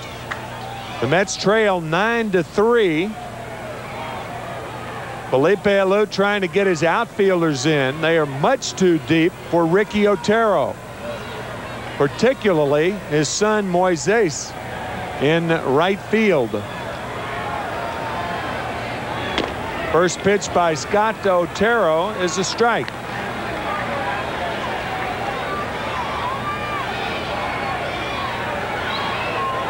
Nobody out.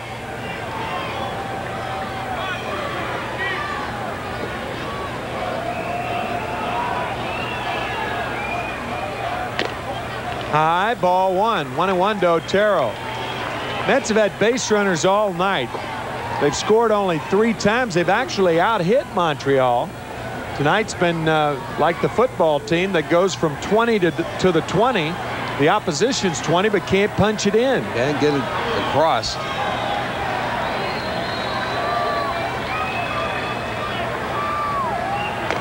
Inside, ball two. Two and one now to Otero.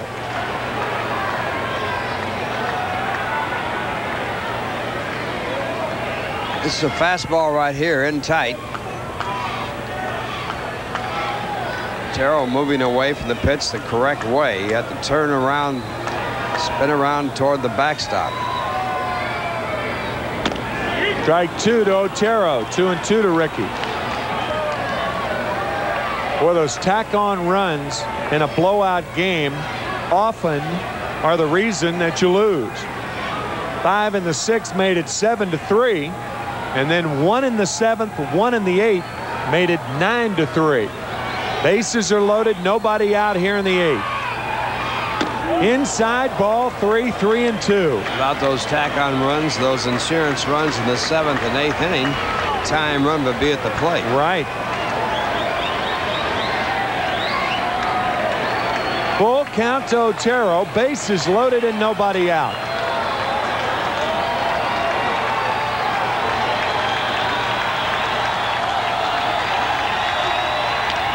Ground ball up the middle. Cordero over to the second baseman Lansing. Not in time at first as Everett scores.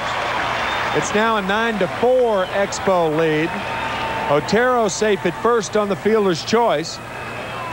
His first RBI in his career. Well, his speed keeping the Expos from making the double play. The ball hit off the hands on the 3-2 pitch. Cordero shovels it off to Lansing. And Lansing's throw is not in time. Yeah, Cordero, you could see Cordero being much more deliberate down there, making sure of one, and with the six-run lead, that's what you have to do. Here's Vizcaino.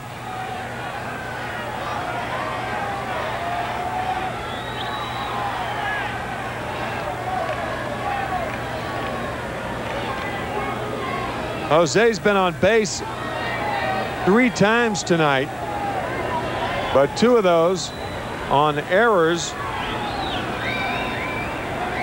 by his counterpart, Wil Cordero, and he fouls it back.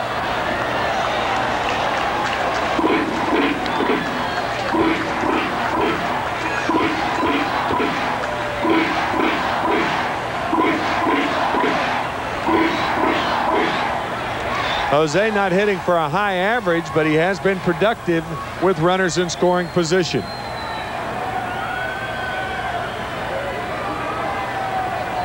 Still only one out. Runners at the corners. The Mets trail by five.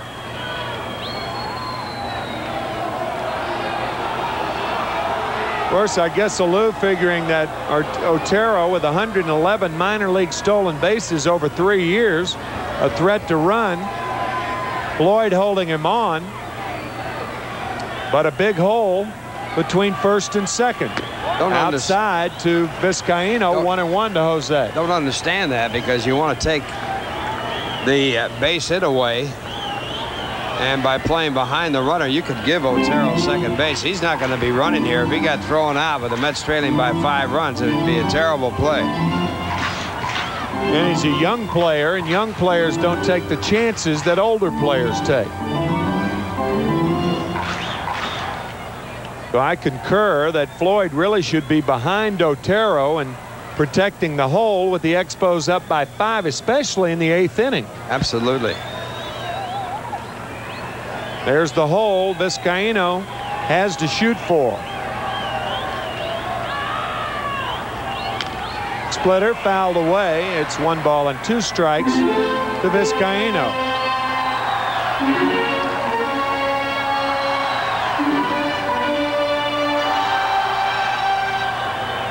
Cincinnati's gone ahead of Atlanta in the top of the 11th inning, leading 5 to 4. So Greg Maddux will get a no decision tonight. Cincinnati's won five in a row playing in Atlanta.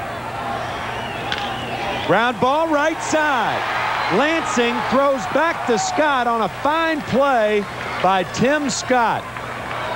Hundley scores. It's now 9 to 5 as Otero moves to second base. I thought uh, your prescience was going to prove valuable there, Ralph. It took a good play by the second baseman. If he'd have been playing off the bag, that's an easy play for the first baseman. I think so. Good play by Lansing to get to that ball, and a good play by the pitcher, Tim Scott, to cover. So they get the out. The Mets get another run, but they still trail by four. That was a very good play by both Lansing and Scott. And Jeff Kent, the batter, with Ricky Otero on at second base. Kent two for four on the night with a run scored, but he's 0 for 19 on the year with runners in scoring position. John Berry throws him out, so now Jeff is 0 for 20 in that situation. The Mets scored two, but remember they had the bases loaded and nobody out, so a good job by Tim Scott. After eight, it's nine to five, and we're back after this from Coca-Cola.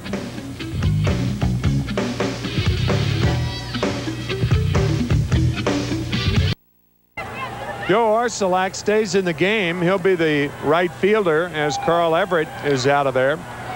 Todd Hundley also remains in the game. And the new pitcher for the Mets, fourth pitcher of the night, Jerry DiPoto. DiPoto with a record of no wins and no losses. He also has no saves. His home run average 12.79. He's worked six in the third innings, giving up 13 hits. The opposition hitting 419 against him.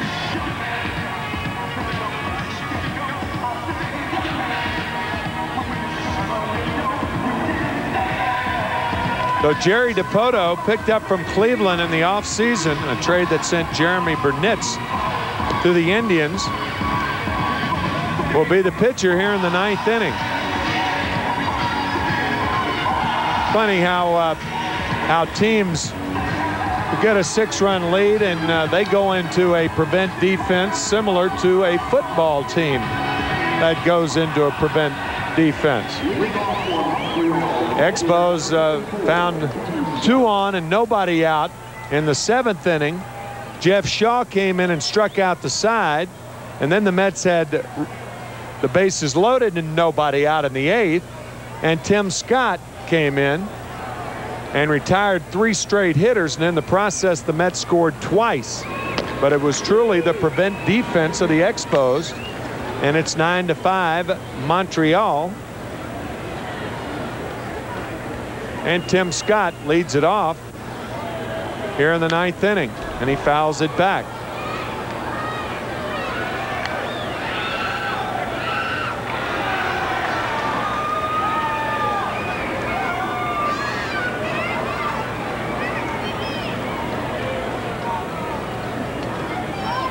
Nothing and two to Scott. And DiPoto's 0-2 pitch is outside and low. One and two to Scott. Full slate of games this weekend. As a matter of fact, it's an overlapping weekend that the Expos will stay at Shea. Then the Mets go on the road, three in Houston and three in Philadelphia. Scott is jammed. That is a jam job right there. One out here in the ninth. That thing was in the garage apartment. Well, that really got in on his pantry here. The head of the bat goes farther than the ball. Head goes all the way out to the shortstop. Bonilla has the ball.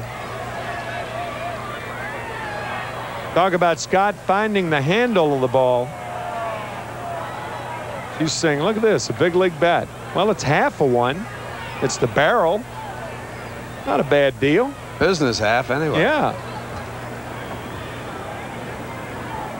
Sean Berry, the batter, he's one for four on the night. He doubled and scored in the sixth. Slider tapped to short. Bonilla cuts in front of Vizcaino and throws wildly. Well, we'll again, see how it's scored. Again, the throwing of Bonilla gets him in trouble. But you have to give Bonilla credit for switching positions. It's so difficult to go from first base to third base. And he gets the ball perfectly, but makes the wild throw. No scoring on it yet. Bobby has committed six errors, by far the most on the Mets team. As a matter of fact, New York has 11, and more than half by Bonilla. Make that seven now on Bobby Bonilla. Wil Cordero, the shortstop, takes a slider low from Jerry DiPoto.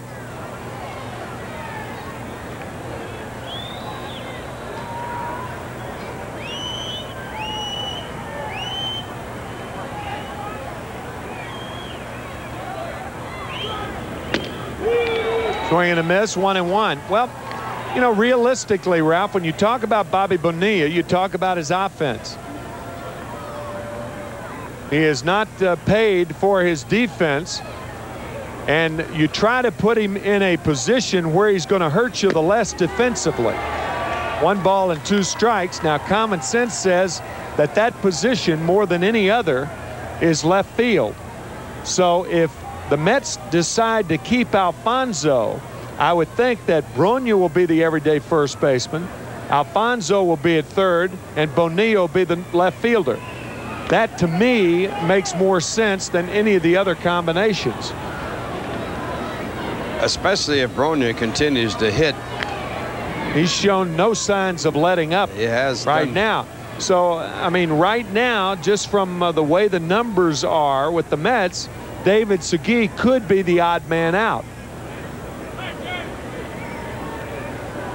Two and two. That is unofficial. That's just kind of a, um, you know, from the reasoning of the roster and the the need and the desire for the Mets to keep Alfonzo on the roster. Another piece of that puzzle, though, is right field because Carl Everett has not shown that he is a major league player yet. Well, you've got Orsulak. Of course, uh, he's more than the fourth outfielder for the Mets. And Joe could get in over 144 game schedule. He could get in 110 games this year. Playing everywhere. Swing and a miss. The throw to second in time. What a play by Vizcaino on the short hop to tag Berry. Two outs. Make that three outs to strike him out, throw him out. Did the job. And a great play by Vizcaino. But the Mets still trail by four, and we'll be back after this from your local Honda dealer.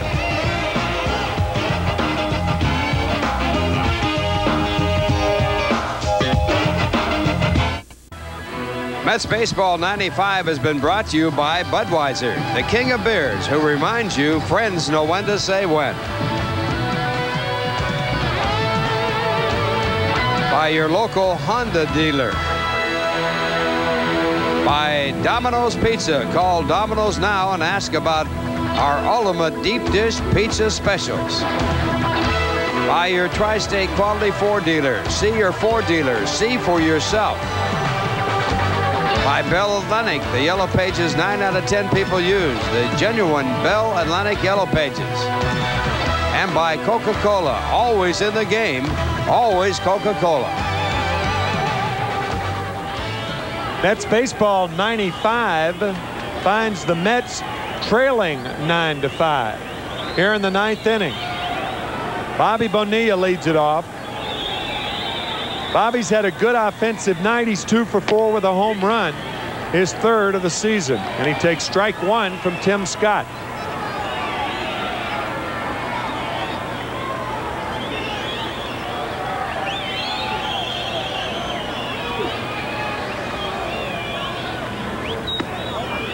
Splitter is low, one and one to Bonilla.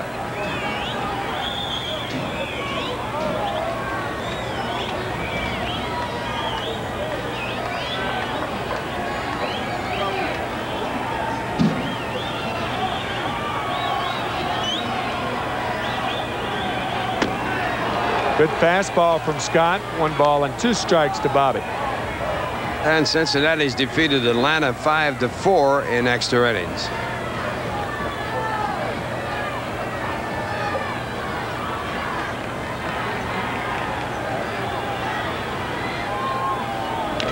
Breaking ball. He stayed alive, fouling it off. Still one and two to Bonilla. Could this game stay the way it is, or unless the Mets catch the Expos with at least four here in the ninth, Jason Jacome will lose his third game of the year, and Jeff Fassero will win his fourth. And become the first pitcher in the National League to win four.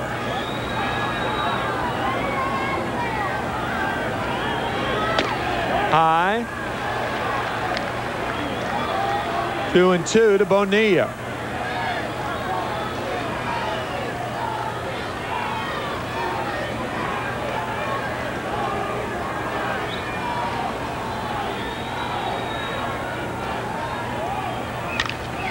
Fly ball deep left field.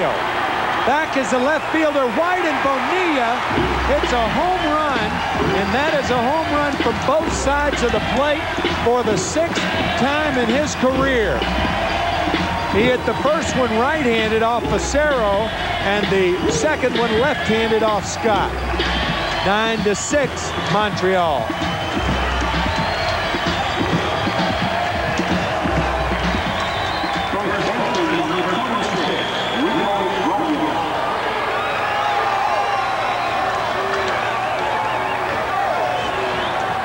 Bobby right here takes this fastball that's out over the plate down into the left field bullpen. Rico Brogna takes high, ball one. So Bobby now with four home runs on the season. And the Mets have squandered a lot of base hits. They've out hit the Expos 13 to 10. They have stranded 10 on the night, and Brogna fouls it off. One and one to Rico Brogna. Rico struck out in the seventh inning as a pinch hitter for Edgardo Alfonzo. And Mel Rojas, should another Met get on, I would think Rojas will be in the game.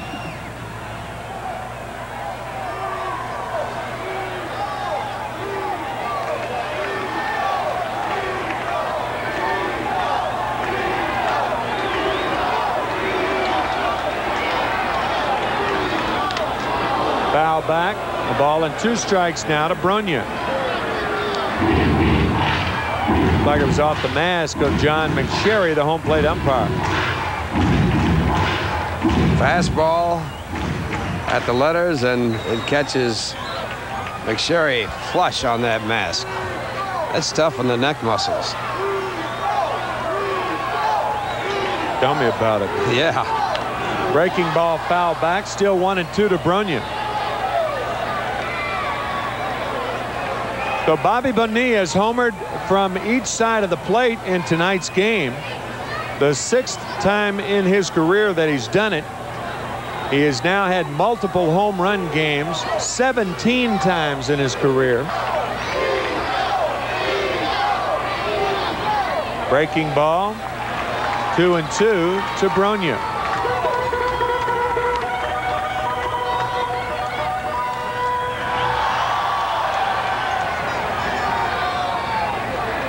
David Segui on deck.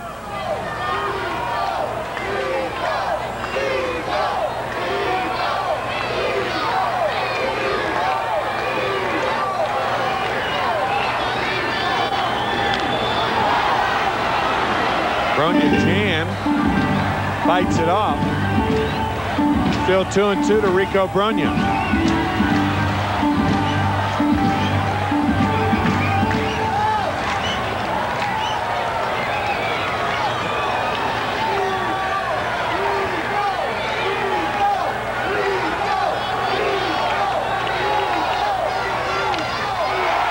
Ball, left field. Playable. Rondell White, the left fielder. Ooh. Little la-di-da on that catch. One out here in the ninth. Well, our next game will be next Thursday. It'll be Jeff Bagwell and the Houston Astros. Last year's most valuable player was Jeff. We will be in Houston. Ralph, Gary, and I. First time visiting the Dome this year. Then the Mets fly to Philadelphia, and we'll have two of the three Philadelphia games next Saturday night and Sunday afternoon. Here's David Segui. Outside, ball one. City of brotherly love, Philadelphia.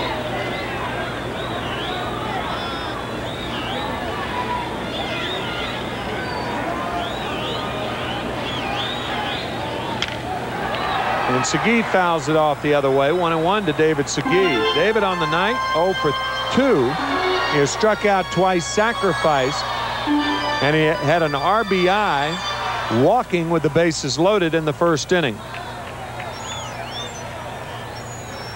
Mets got off to a fine start. It looked like it was going to be their ball game.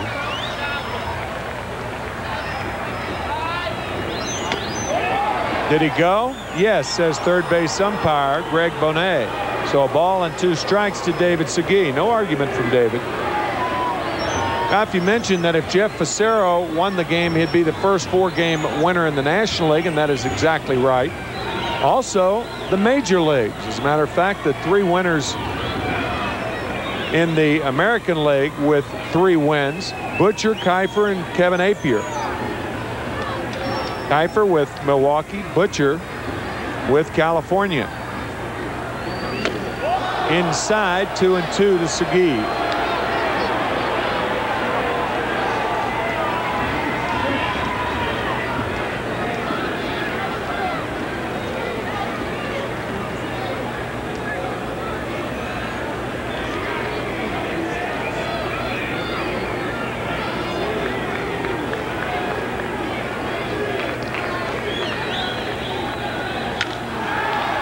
You can tell how hard Scott is throwing by the way the Mets are hitting the ball.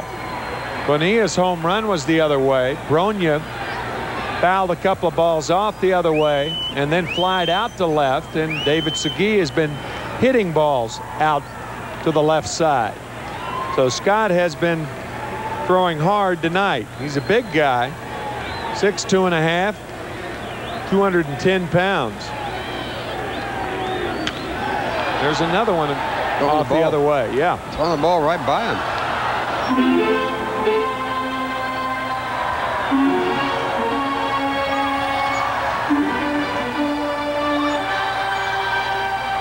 On deck batter is Bill Spiers. Pitcher Jerry DiPoto was inserted in the seven hole. Ground ball up the middle. Lansing on a nice play. Throws out Segui. Good play by Mike Lansing, the second baseman. And that'll bring up Bill Spiers, the pinch hitter.